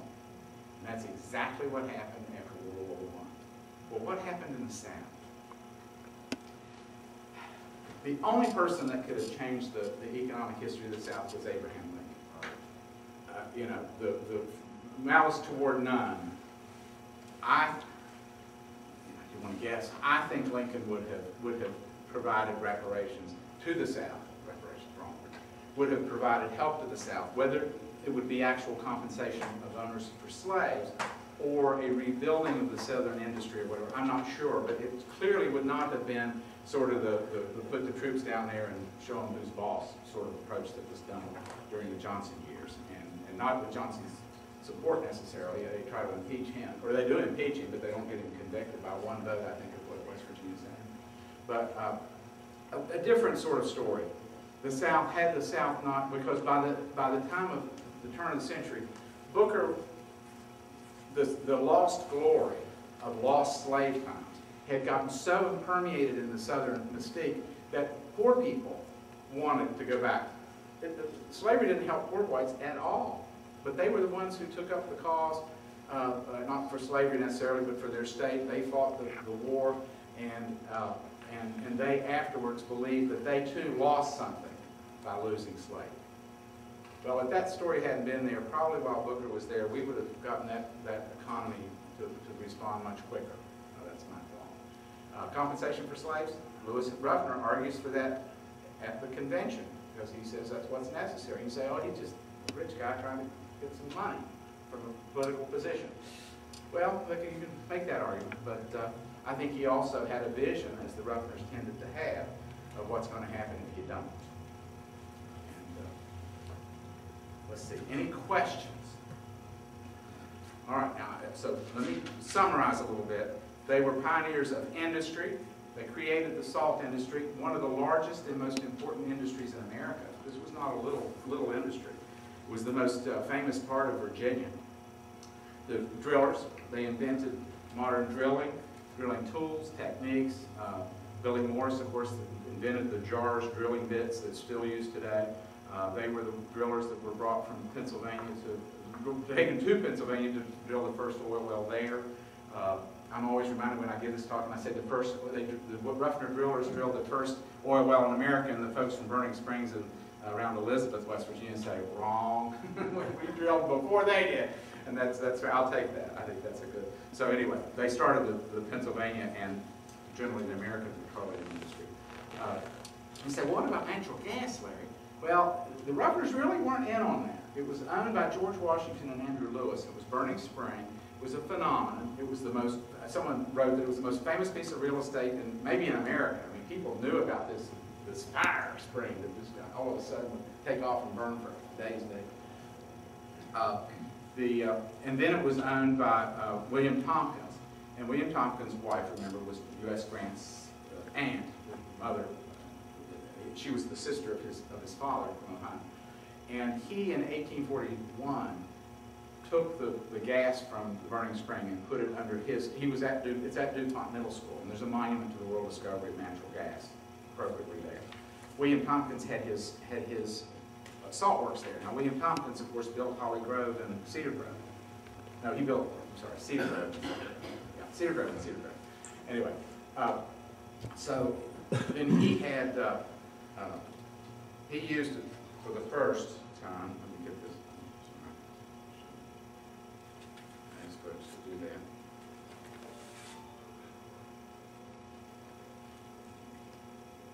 All right. Um, He piped it in, and I think he may have started with wooden pipes, that's kind of frightening, but anyway, they start, they, they make, they got metal pipes. But he also used it to fire his furnace, to light his furnaces at night. And I always tell school kids, so the night shift was maybe invented at DuPont Middle School. Uh, I, I- probably not, there was other gas lights, but remember, gas before, in the eighteen twenties in Boston and other places, was dirty. I mean, it was incredibly dirty. Natural gas is clean as a devil. Matter of fact, has no odor, we have to introduce the odor. So, uh, so really the Ruffners, that's about the only one. I, but, and you say, well, yeah, but they established this, they established the salt industry, and, uh, I candidly don't know how to turn this on. It's my brother, who I love dearly, but I don't want to. Okay. uh, So, uh, I give a Constitution speech at DuPont Mill every year. I've done it for seven years, and I love doing it. And the last time I-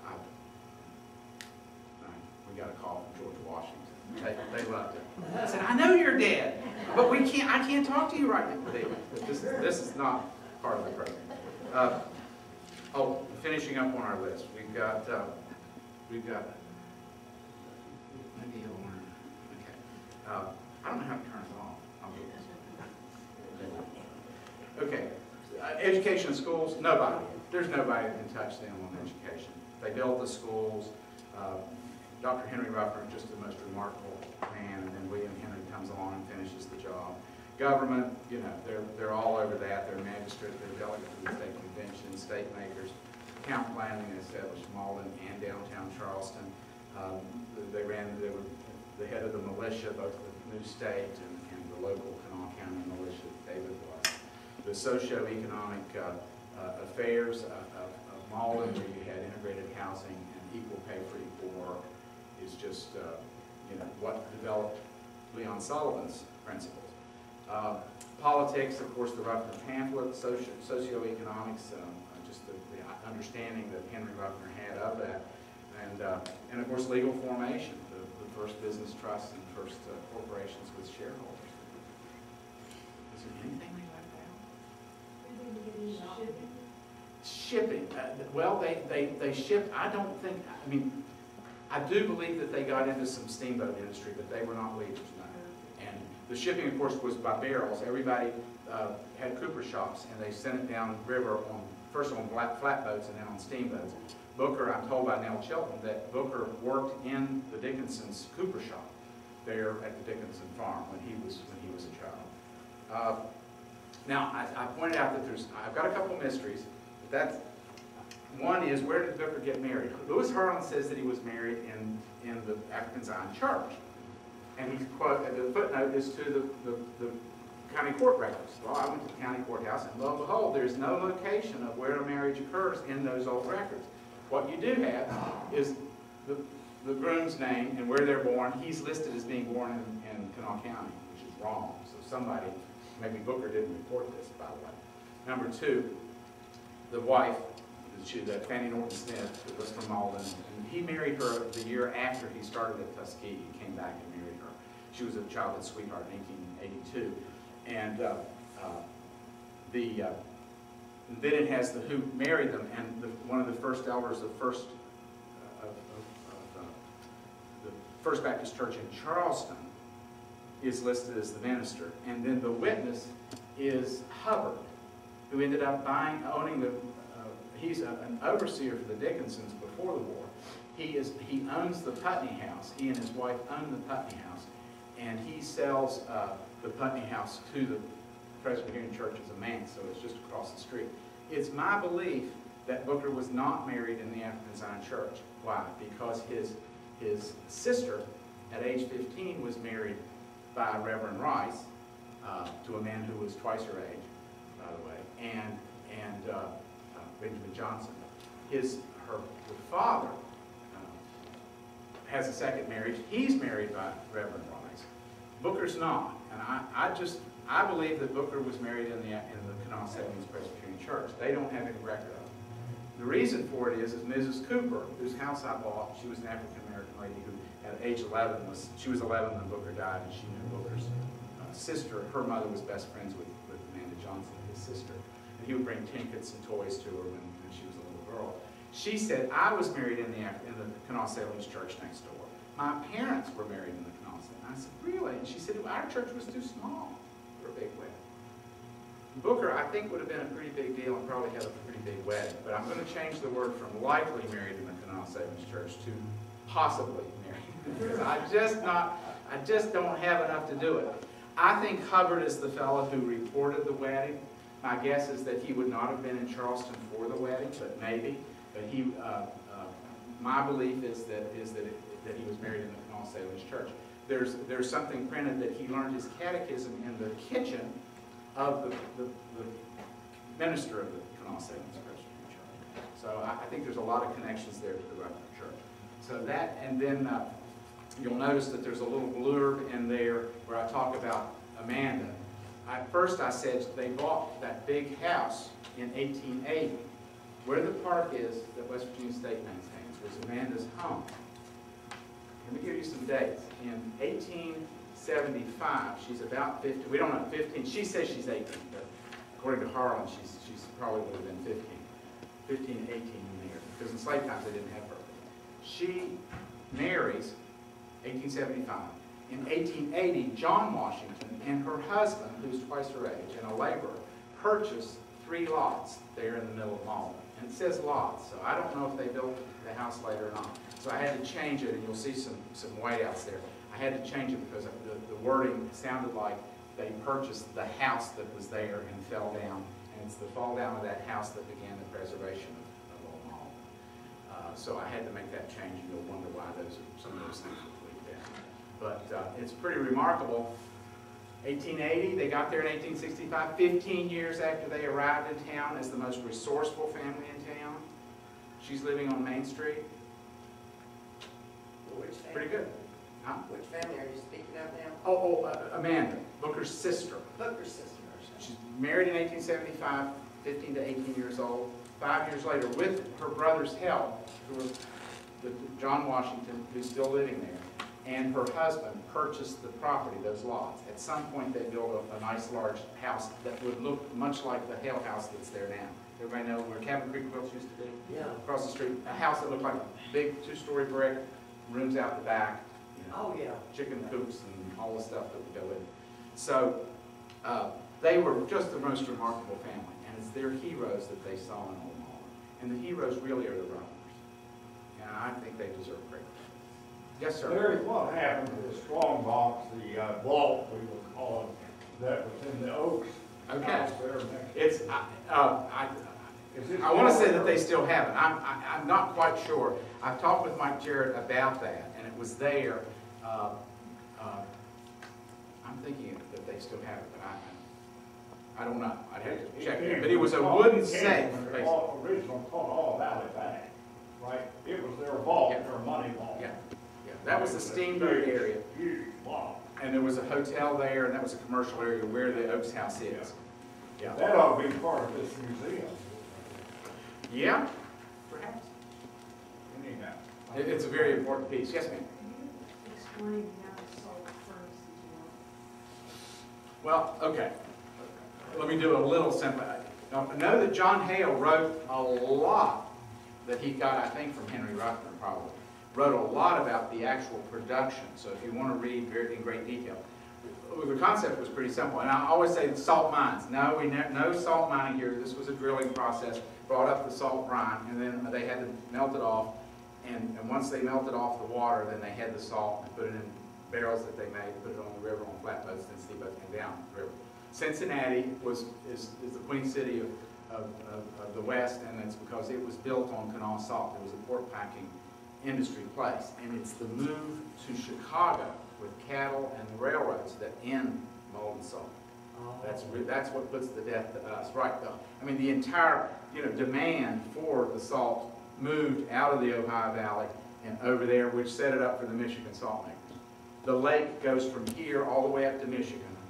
And, and, and the Dow, the, the, the folks who set up later, the, the ancestors of the, of the Dow Chemical Company were in, were Michigan salt makers, always in competition, always in competition with the South. So if you like to go back to those days, you can say, well, the old Michigan guys got us. And then they bought out uh, Union Carbide. Well, were they injecting water into the ground, into? What, the- it's a lake. It's a salt lake, a big, humongous salt lake. And it goes all the way from, from here in the Kanawha Valley, all the way up to Michigan and around. And of course, you know, we know that with that, hooray, goes coal, natural gas, oil, and, uh, and those products. But to answer your question, that was the innovation that they had to do. Nobody had done that kind of boil-off process on a massive scale. And the innovations went on, there's a a fellow named George Patrick, I think, who came with a special process.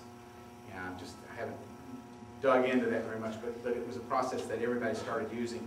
And it allowed them to make huge, vast, vast quantities of salt. And of course, then it lowered the price. You know, it's like, why don't we have a salt cartel to keep, to keep people from, and a lot of people were paid to not produce.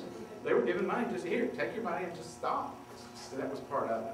But yeah, it was a process of boiling. Now, I need to tell you that, I don't know where we are on our time.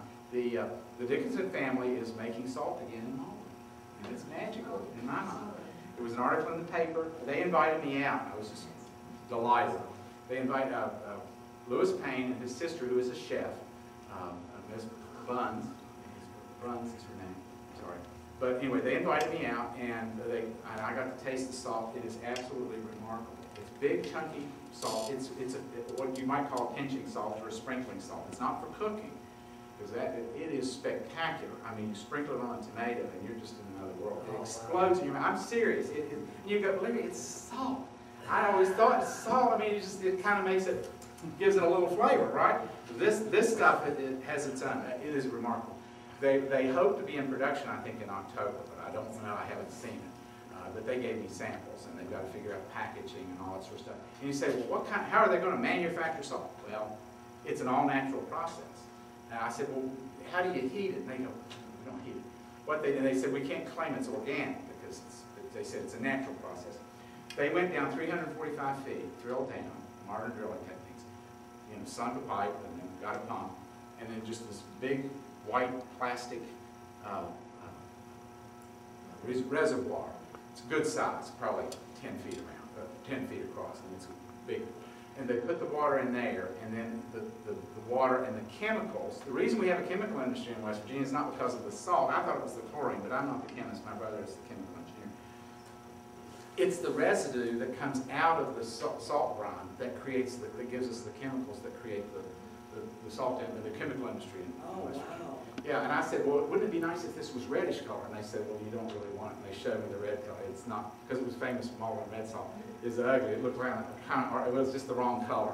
And they don't I I said, I agree with you, the white salt's good. But what they do is that when it, once it settles, then they spray the water into these drying pans, and they're nothing more than railroad ties with this huge, really thick, black plastic fabric on it. Uh-huh. They pour it in there, that's about that much deep. And it, they said in three weeks it dries and you got salt. Yeah, and you say, well, that's just too easy. Well, but I, you know, it, uh, and, but it's delicious, and I really wish them luck. The idea was, I think, think it was chef, the chef's idea to, to do this, and she, they apparently have some orders and, and chefs who are interested in it. But if you see it come out, you gotta rush and get it. I told them that we're gonna be able to get out our old salt cellars. Anybody got a salt cellar in the back of the cabinet? It's like, what do you do with that? You don't want it on the table because it'll ruin your silver. Well, they may be back. You know, these folks have, have a really special product. So we're making salt again in and it's, and it basically was that process. Only they had to use a fuel source and it was massive. We've made three million barrels of salt in 1847, 48, somewhere in there is the peak. Remarkably, in the 1850s, the market just goes to nothing. And of course, it's railroads and, and, and changes in the economic system. And by 1860, the salt industry really is, is pretty, pretty much down. The number of producers is reduced. Then we have the flood right at the beginning of the Civil War. Apparently, in downtown Charleston, St. John's Church had six feet of water in it or something. The- church, St. John's was at the, where McFarland Street on Virginia, where the uh, parking garage is. And, but the flood came through and it absolutely destroyed most of the operations, and they did not continue. Who's the last one? Good old John Q, John Q. Dickinson, and his, his, his group, he was not the one, but it was his, his salt works was the last in Malden in eight- 1945. But they they had a bromide plant there, and so the last industry in Malden was in 18, I'm sorry, 1985, uh, was the, the, they closed the bromide plant. And, uh, So then, then it was located on the Dickinson farm. Well, what connection did they have to Evans Lead? They had some connection that they couldn't expand with Evans Lead. Because the fellow that operated that or ran that was their president of, uh, Small Valley Bank at one time. Well, one of the things you discover, I, I've approached this two ways. One is the history of St. John's, and it's just fascinating because of the people who organized that church, Joel Shrewsbury and James Craik and different people. Uh, But it's pretty obvious real quick that everybody's marrying everybody else, that they're truly aristocratic, uh, uh, you know, and, and, and so the connections are everywhere, and everybody's related to everybody else. But they are all fierce business people. McFarland that owned the bank foreclosed on his wife's family. I mean, they were business people. That's the other thing. I mean, just, I mean, these folks did business. John Hale, who's quite a story unto himself, is sued by everybody, it looks like everybody who ever did business with him. I went through the courthouse records in the 1850s. I mean, he's sued for $25 and $83 on, you know, store accounts and everything else. And uh, Brooks McCabe, I should say, is, is doing a wonderful, it'll be an incredible history of four families in the Kanawha Valley who, who have had an economic impact. And, and it's interesting that he chose the James family because they were African American and very successful after the war. They're really, I mean, they were contemporaries of, of Booker. Booker saw what can be done if, if African Americans are just allowed to have their businesses and to do business themselves. And that, uh, the, the James family is really remarkable for that. Also, he's doing the Dickinsons, the bank and so on. He's doing Benjamin Smith, which is Ike Smith's family, the Noyes and, and Smiths. And then he's doing John P. Hale, who had no family. John P. Hale uh, had no children, but he was the ultimate entrepreneur. And Brooks says what's nice about John P. is that that lets us go back to the beginning and first salt maker, which everybody says is Mary Ingles Draper, his great grandmother. And he's the great historian. He's really the most, I think, the most important figure in the Kanawha Valley in the, the 19th century. I, I, don't- I think, I can't think of anybody else that would really meet that. He's the one, he invests his own money, he loses money, he goes bankrupt all the time, but he just has this passion to do stuff for the community. He built, he gets investors, they build the state capitol. You say, well, wait, before, yeah, before it was a state capitol. They build the building and then go to Wheeling and say, let's move to Charleston. They couldn't have come down here if you didn't have a building. They built the state capitol. I mean, remarkable. Put the brick street in on Summer Street. You know, you say, would, would, would he be a hero of Booker? There's really no connection, but there certainly could be because he and Booker came from the same county. He came 20 years, from all in the 1830s, 20 years before Booker was born in 1856. So Franklin County's an interesting place. Byrd Prillerman, West Virginia State folks, Prillerman came from Franklin County, Virginia. And I read one thing, I didn't put it in the brochure, I'm afraid, but I want to, uh, is that um, Adam Clayton Powell came from Franklin County, Virginia to Kanawha County. And of course, it's his son, Adam Clayton Powell Jr., who goes up to that remarkable fellow named William Sullivan while he's a college basketball player at West Virginia State, teaching, and has two churches, and says, look, when you get your degree, when you get your degree, I want you to come to New York, my daddy's church, Abyssinia Baptist Church in Harlem, the largest, at one time had 10,000 members, the largest African-American church in, in the country. And uh, uh, so, you know, there's so many people, so many African-American leaders that come through the Kanawha Valley. It's a really remarkable story itself. Uh, if you think we've got too much on Booker T and Old Malden's history there, all I can say is that without that, you have no audience. We are, we are the only, folks, we're the only ones that, no, that's not true. There are people in the Kanawha Valley who care about our buildings and preservation of them. That's true. But uh, you guys are the ones where the the rubber meets the road. Uh, The Booker T. Washington story, I think, gives us international significance because, in part because of Leon Sullivan. He's exactly Booker, has exactly the same plan. You know, work hard, be trained, get an education, you know, uh, uh, it- it- it- you know, he leads the boycotts in Philadelphia and becomes famous, gets on the board of directors, is the first African-American board of directors with General Motors, then the richest, most powerful corporation in America and gives an incidental speech, says, you know, we just, get- we've got southern, we've got modern slavery in South Africa. Why in the world do we not, do we do, do business with them? So he started and maintained the international, led the international boycott of South Africa, a remarkable thing. He was criticized, like Booker's criticized. He said, I've got a plan, 15 years. And people said, 15 years? That's a whole generation of young people that are going to be under this oppression. And he said, TTT, things take time. And it took 20 years. And in 20 years after his plan started, Nelson Mandela becomes president of South Africa. Peacefully. No bloodshed, folks. Yes, sir. Larry, what caused you to land in Malden? Cause what? You to land in Malden? How'd I get there? James Tebow. The, the person who's responsible for preservation of, of, of old Malden buildings. James Tebow, social vista worker, and it's referred to in your brochure. He was a vista worker and came here in the 1970s and uh, early 70s and formed Cabin Creek Quilts over in Estee. And then he came to Malden and said, this looks like home. This looks like New England. And, Wow. and, and Amanda Johnson's house was fall down. There's a picture in there of what the house was like. And he and Jim Jeter, if anybody remembers the Jeter, Jim Jeter and Mr. Coleman, saved Putney House. And then uh, the Kanawha, the uh, Kanawha Valley Historical and Preservation Society really began some of their work out there. So, so Malden was, was very important to that.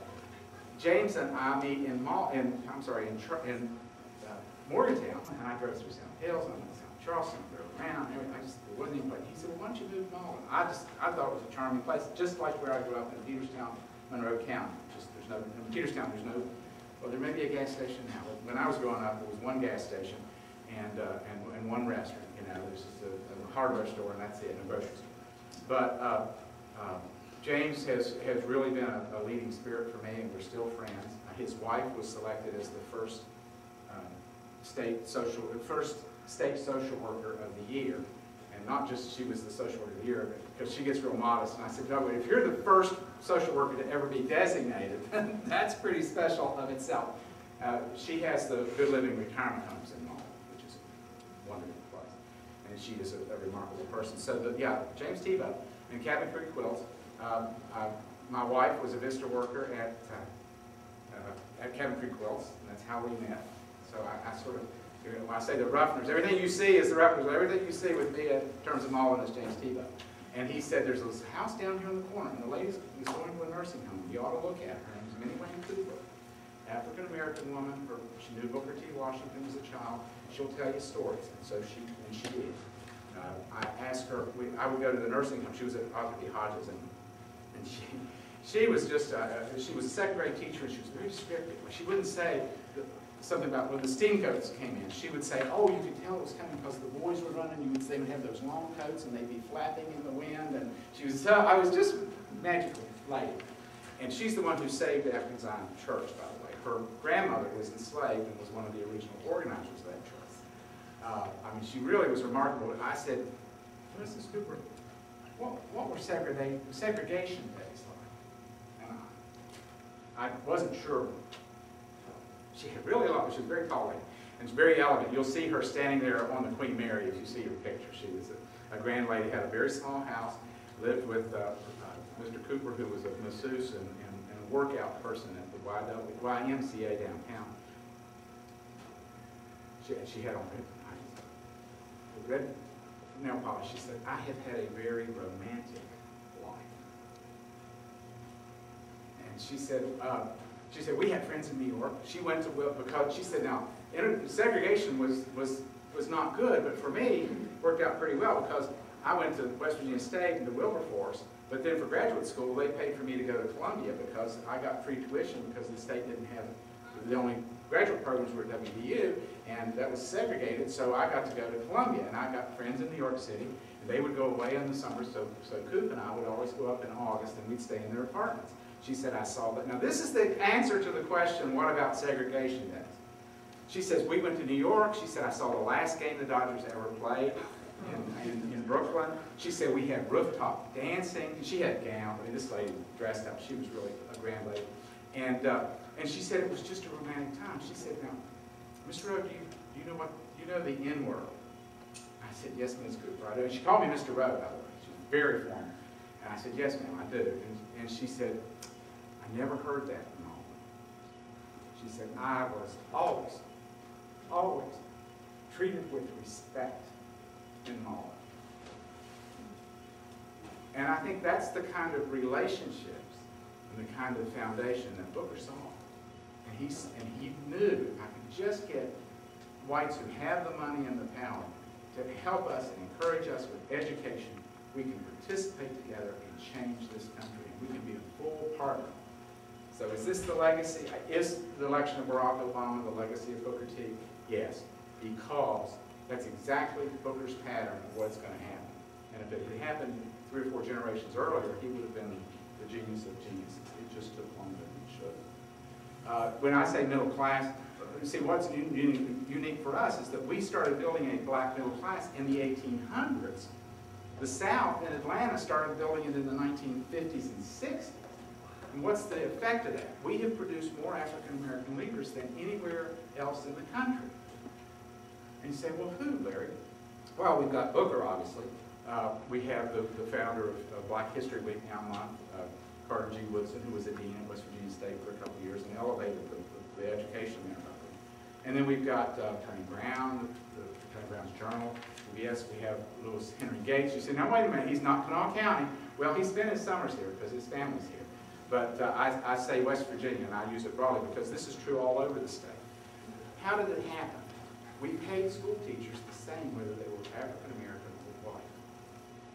And what that did is that meant that, first of all, blacks had good schools, regardless of their income. But also it meant that you had a cadre of middle-class people who were running their communities. And I, what's amazing and a story untold is that when integration came in, we decapitated the leadership of the African American community. And today it's really centered in their churches.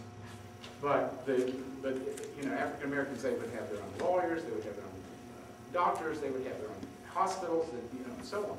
Now, as equal, separate equal, well, you know about that. But still, we built a strong black middle class in the coal industry, exactly using the Ruffner model for how you treat workers. Every black was paid according, every person was paid according to the job, not according to what color they were. Now, they segregated, had housing separate. That's how my grandfather gets here. He's an Italian who can speak English, comes through Ellis Island, comes to the coal fields, becomes a bouncer for the railroad hotel in Bluefield. Then when Prohibition comes about, he's, he get, he buys a dry goods store.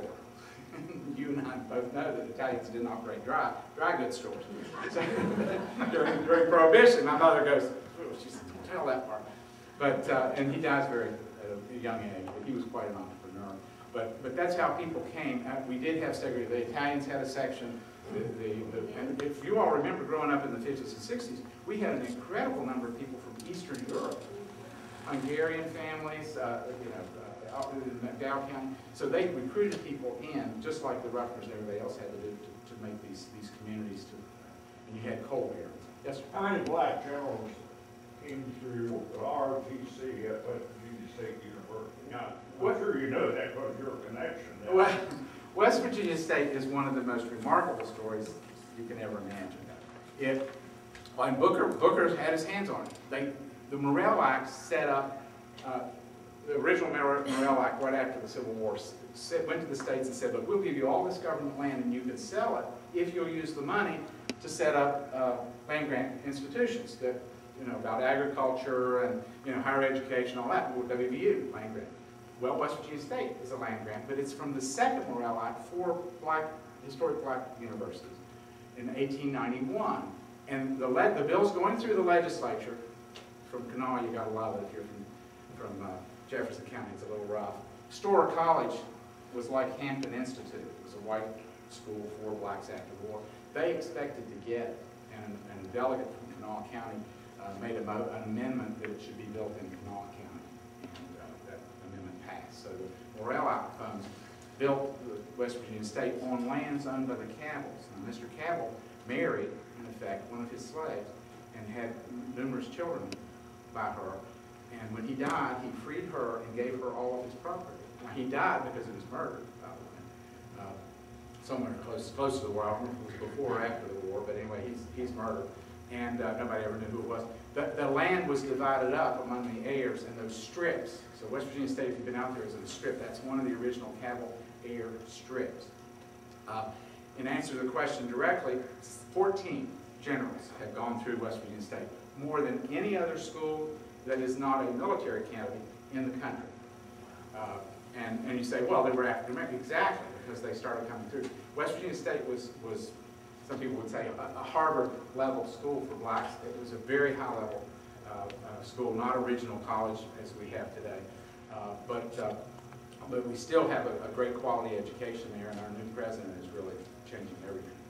But uh, West Virginia State, Booker got his friend Byrd Prillerman, and there's a wonderful letter in his papers. I, I, we had, we went to the beach this summer, and I bought all 14 volumes of Booker's papers and read, read them at the beach in four days. Well, uh, not all, but, but most. But there's a wonderful letter from him about Byrd Prillerman, and he says, you know, he's really kind of a dull guy, but he'll really do a good job for you. So he gets Byrd Prillerman, and who is, is a good president. Booker does not come to his sister's funeral. Her sister's, his sister's funeral is at State Presbyterian Church because Zion was too small. Booker doesn't come to the funeral. I'm surprised by that, but anyway, he did. Byrd Prillerman runs the whole thing, and it was quite a, a big affair. Lots of important people went because she was the, the sister of Booker T. Washington, and she was also loved. But, uh, yeah, West Virginia State's connection is pretty amazing, and they're part of. When integration came in, the state legislature turned state into a regional school and took away the land grant status. Well, they didn't take away, but anyway, land grant status was, was dropped, and now West Virginia State has gotten that back, and uh, we had a fifty percent increase in the number of freshmen enrollees this year, so we're kind of taking off. We had budget cuts and everything else, and uh, people said, do you really think, I was the chair of the board, you really think you can get somebody to come and be good president of your school with the problems you've got out there, budget cuts, and you- you're two million dollars a year in the hole and all that? I said, well, yeah. And by golly, we did. I, I, I'm reminded of Bill Mazeroski in nineteen sixty, if you remember that hit. It was two outs and two on, and it was the seventh game of the World Series against the Yankees, who were invincible. And, and Bill Mazeroski took a hit, he took a swing, and it just didn't clear the fences, it went into the river or something. My wife's aunt and uncle were there, and she said that you just, everybody thought the game was over, but anyway, she said you heard this crack. And then when they saw it, the place just went absolutely berserk, and it is considered the greatest hit ever. So sometimes, you know, there are Bill Mazeroski moments in your life, and that may be one, because uh, Dr. Hemphill really is remarkable, and he's really doing a wonderful job. Anything else? Yes, ma'am. Do you know Dean Thompson, our Presbyterian minister? He's now ahead of the Presbyterian College. in No, I'm glad you brought up Louisville. I do have a little bit on James Craik to tell you, but no, I don't. Okay, I'll just talk to you after. Okay. James Craik is a remarkable man, too. I mean, the Craik Patton House is safe because it's a charming, beautiful place, not really because of its history so much. Uh, James Craik is a lawyer. His grandfather is, is George Washington's physician and best friend. He, is he the one that bled it? Yes. But Anyway, so, and then uh, his father was George Washington's personal secretary while president. The problem is, is that granddad, while he was out running around with the revolution, in the Revolutionary War, kind of lost the money, the family money, because you had to work farm. So there's, James doesn't come here with money, there's some land out in Putnam County. He comes in, he, uh, he, he uh, uh, marries a rich guy in town's daughter, Juliet Shrewsbury, Samuel's daughter. And he is a, is a lawyer, and he helps organize St. John's Church in 1834 as a vestryman, and he decides he wants to be a priest, so he becomes the, the rector there, goes to school, gets Presbyterian, and becomes rector in 1839 and serves five years. And he leaves in 1844 and goes to Louisville, to Christ Church Louisville, and he's there until he dies. His son takes over as rector at Christ Church Louisville for another wedding. Who was James Craik? James Craik is given credit for keeping Kentucky as a slave state in the Union.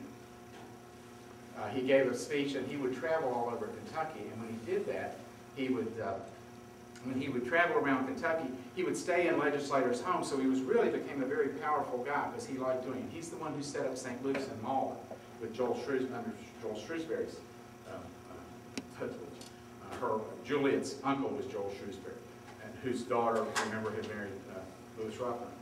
And he, so he's given credit for keeping Kentucky in the Union. Also, he becomes the president of the House of Deputies, which is probably the, the highest, to not be a bishop in the Episcopal Church, the highest position for about 12 years. And he, uh, he is credited with bringing all the southern dioceses of, in the South that seceded when their states seceded from the national church, bringing them in in the very first year and, and making a very smooth transition. He was very conservative. If anybody knows the history of the Episcopal Church, there was a reform group. Well, he's one of the reasons for the reform was he's very traditional, and his assistant bishop, his bishops in New York is the national bishop, his, the assistant bishop forms the new Reformed Episcopal Church from Louisville. James Craik is, is, is probably, uh, probably his conservatism as a, as a priest would mean. Uh, he was, but he was very pro-slavery. He was pro-union, but he was pro-slavery. So that's interesting. Any other questions? Everybody signed the petition. Oh, okay, well, if you want me to, okay, it it is sort of a petition, isn't it? Yeah, let's do it, all right. Thank you. What I would like folks to do, now, really, I, I would like to have your emails would be my ideal one. Thank you very much for the folks who signed up. I I don't know if you saw it or if it got to you, I would like you to give me your email, and I'll, I'll email what we finish with. What you have there is close to what it's going to be. It's, as I say, it's a history of Malden. Did everybody get one that's? No. Oh, here, here. Read it to make sure, uh, Yeah. Yeah. I numbered them to kind of keep an idea of what we have. Anybody else? Not yet? Um, Could you expound on the Mary Ingles connection to the Southern District? Okay, I, real quick. Uh, Mary Ingles was in what's Blacksburg, Virginia. right. And where Smithfield Plantation was built, what we see there is really the uh, Preston thing. But it was in that location that, that, that she lived. And they, there was a massacre at her house, and they took her Right, and her baby, and they took her back to Ohio. And one, they could get, they could sell her back, was one reason you would do that. And also, uh, they say that, that the Indians thought that she knew how to make salt. The Native Americans wanted salt, they were shamans. They lived in Ohio. So, so they bring her through, and at the salt lick, she makes salt. And that's why we say she's our first salt maker. Oh, And, and then she goes back to Ohio, and then she escapes, leaves her baby, Right. And, and, and, and comes back and this old Dutch woman's with her and the Dutch woman goes crazy and tries to kill her. That's the story of Follow the River, the Right. Very, very popular book at the time. Now, she gets back, uh, she gets her child back, and he's been raised Native American, he wants to stay in the culture, and it's very interesting, you know, how that would all work. Did meet her son. Yeah. I've never Yeah. heard that part. Yes. And, uh, uh, now, one of the babies was killed, I think. brutally, you know. But she is the great-grandmother of John P. Hale. And John P. Hale's Trans-Allegheny Pioneers details and is the story that Follow the River is taken from. But John P. Hale took it from her son's writing in something like 17 whatever. And, and I've got a copy of that write-up of it. And, and it's, it's pretty much a story that, that he gets truly from his family. He publishes, and then it becomes Follow the River. Trans-Allegheny Pioneers. If you look up, I can't remember, there are sources cited in there. If you want to read up, some of the best books that I found uh, are in there. Because of the size of the brochure, I couldn't list all. I mean, I've, I've read 150 books out of the library in the last year, trying to get all this going. The Ruffner family, I should thank, because they gave me most all the information I you. And uh, they will, they have voted to have their family reunion 2015 in Malden. Yeah, yeah, that's a big honor. I'm, I'm hoping West Virginia State will, you know, be a part of that. Uh, we did have the Booker T. Washington family here with, in 2002, I think, with the Ruffner family for the reunions at the same time. And we had to do it at the house. And I, I got to meet Mrs. Clifford, who I understand has passed away now. She sort of was the matriarch. And you might recognize the name Clifford, J.R. Clifford, who was a great rival of Booker. Washington. Uh, and they're- were contemporaries his, their children married. I believe it. But anyways, but Mrs. Clifford is the head of the, and she, she came up, there was always a controversy. She came up and said, you know that, you know that Mrs. Cooper is not really related to us. Because Mrs. Cooper always claimed to be niece, uh, in a way. And I said, well, I, Mrs. Cooper told me that, that, uh, that she was not related by blood, but she was related by affection.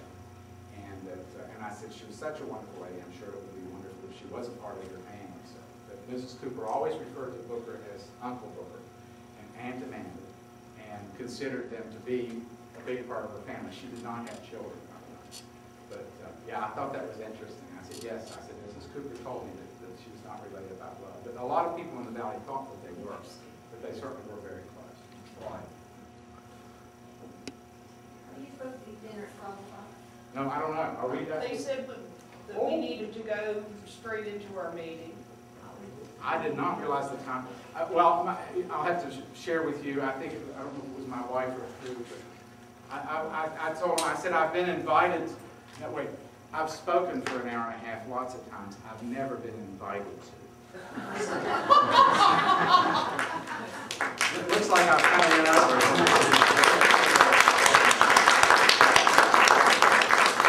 you all very much. You're a great audience. Appreciate it. Thank you. I'm fine. That's No, it's all o'clock. I was gonna make up an hour tonight.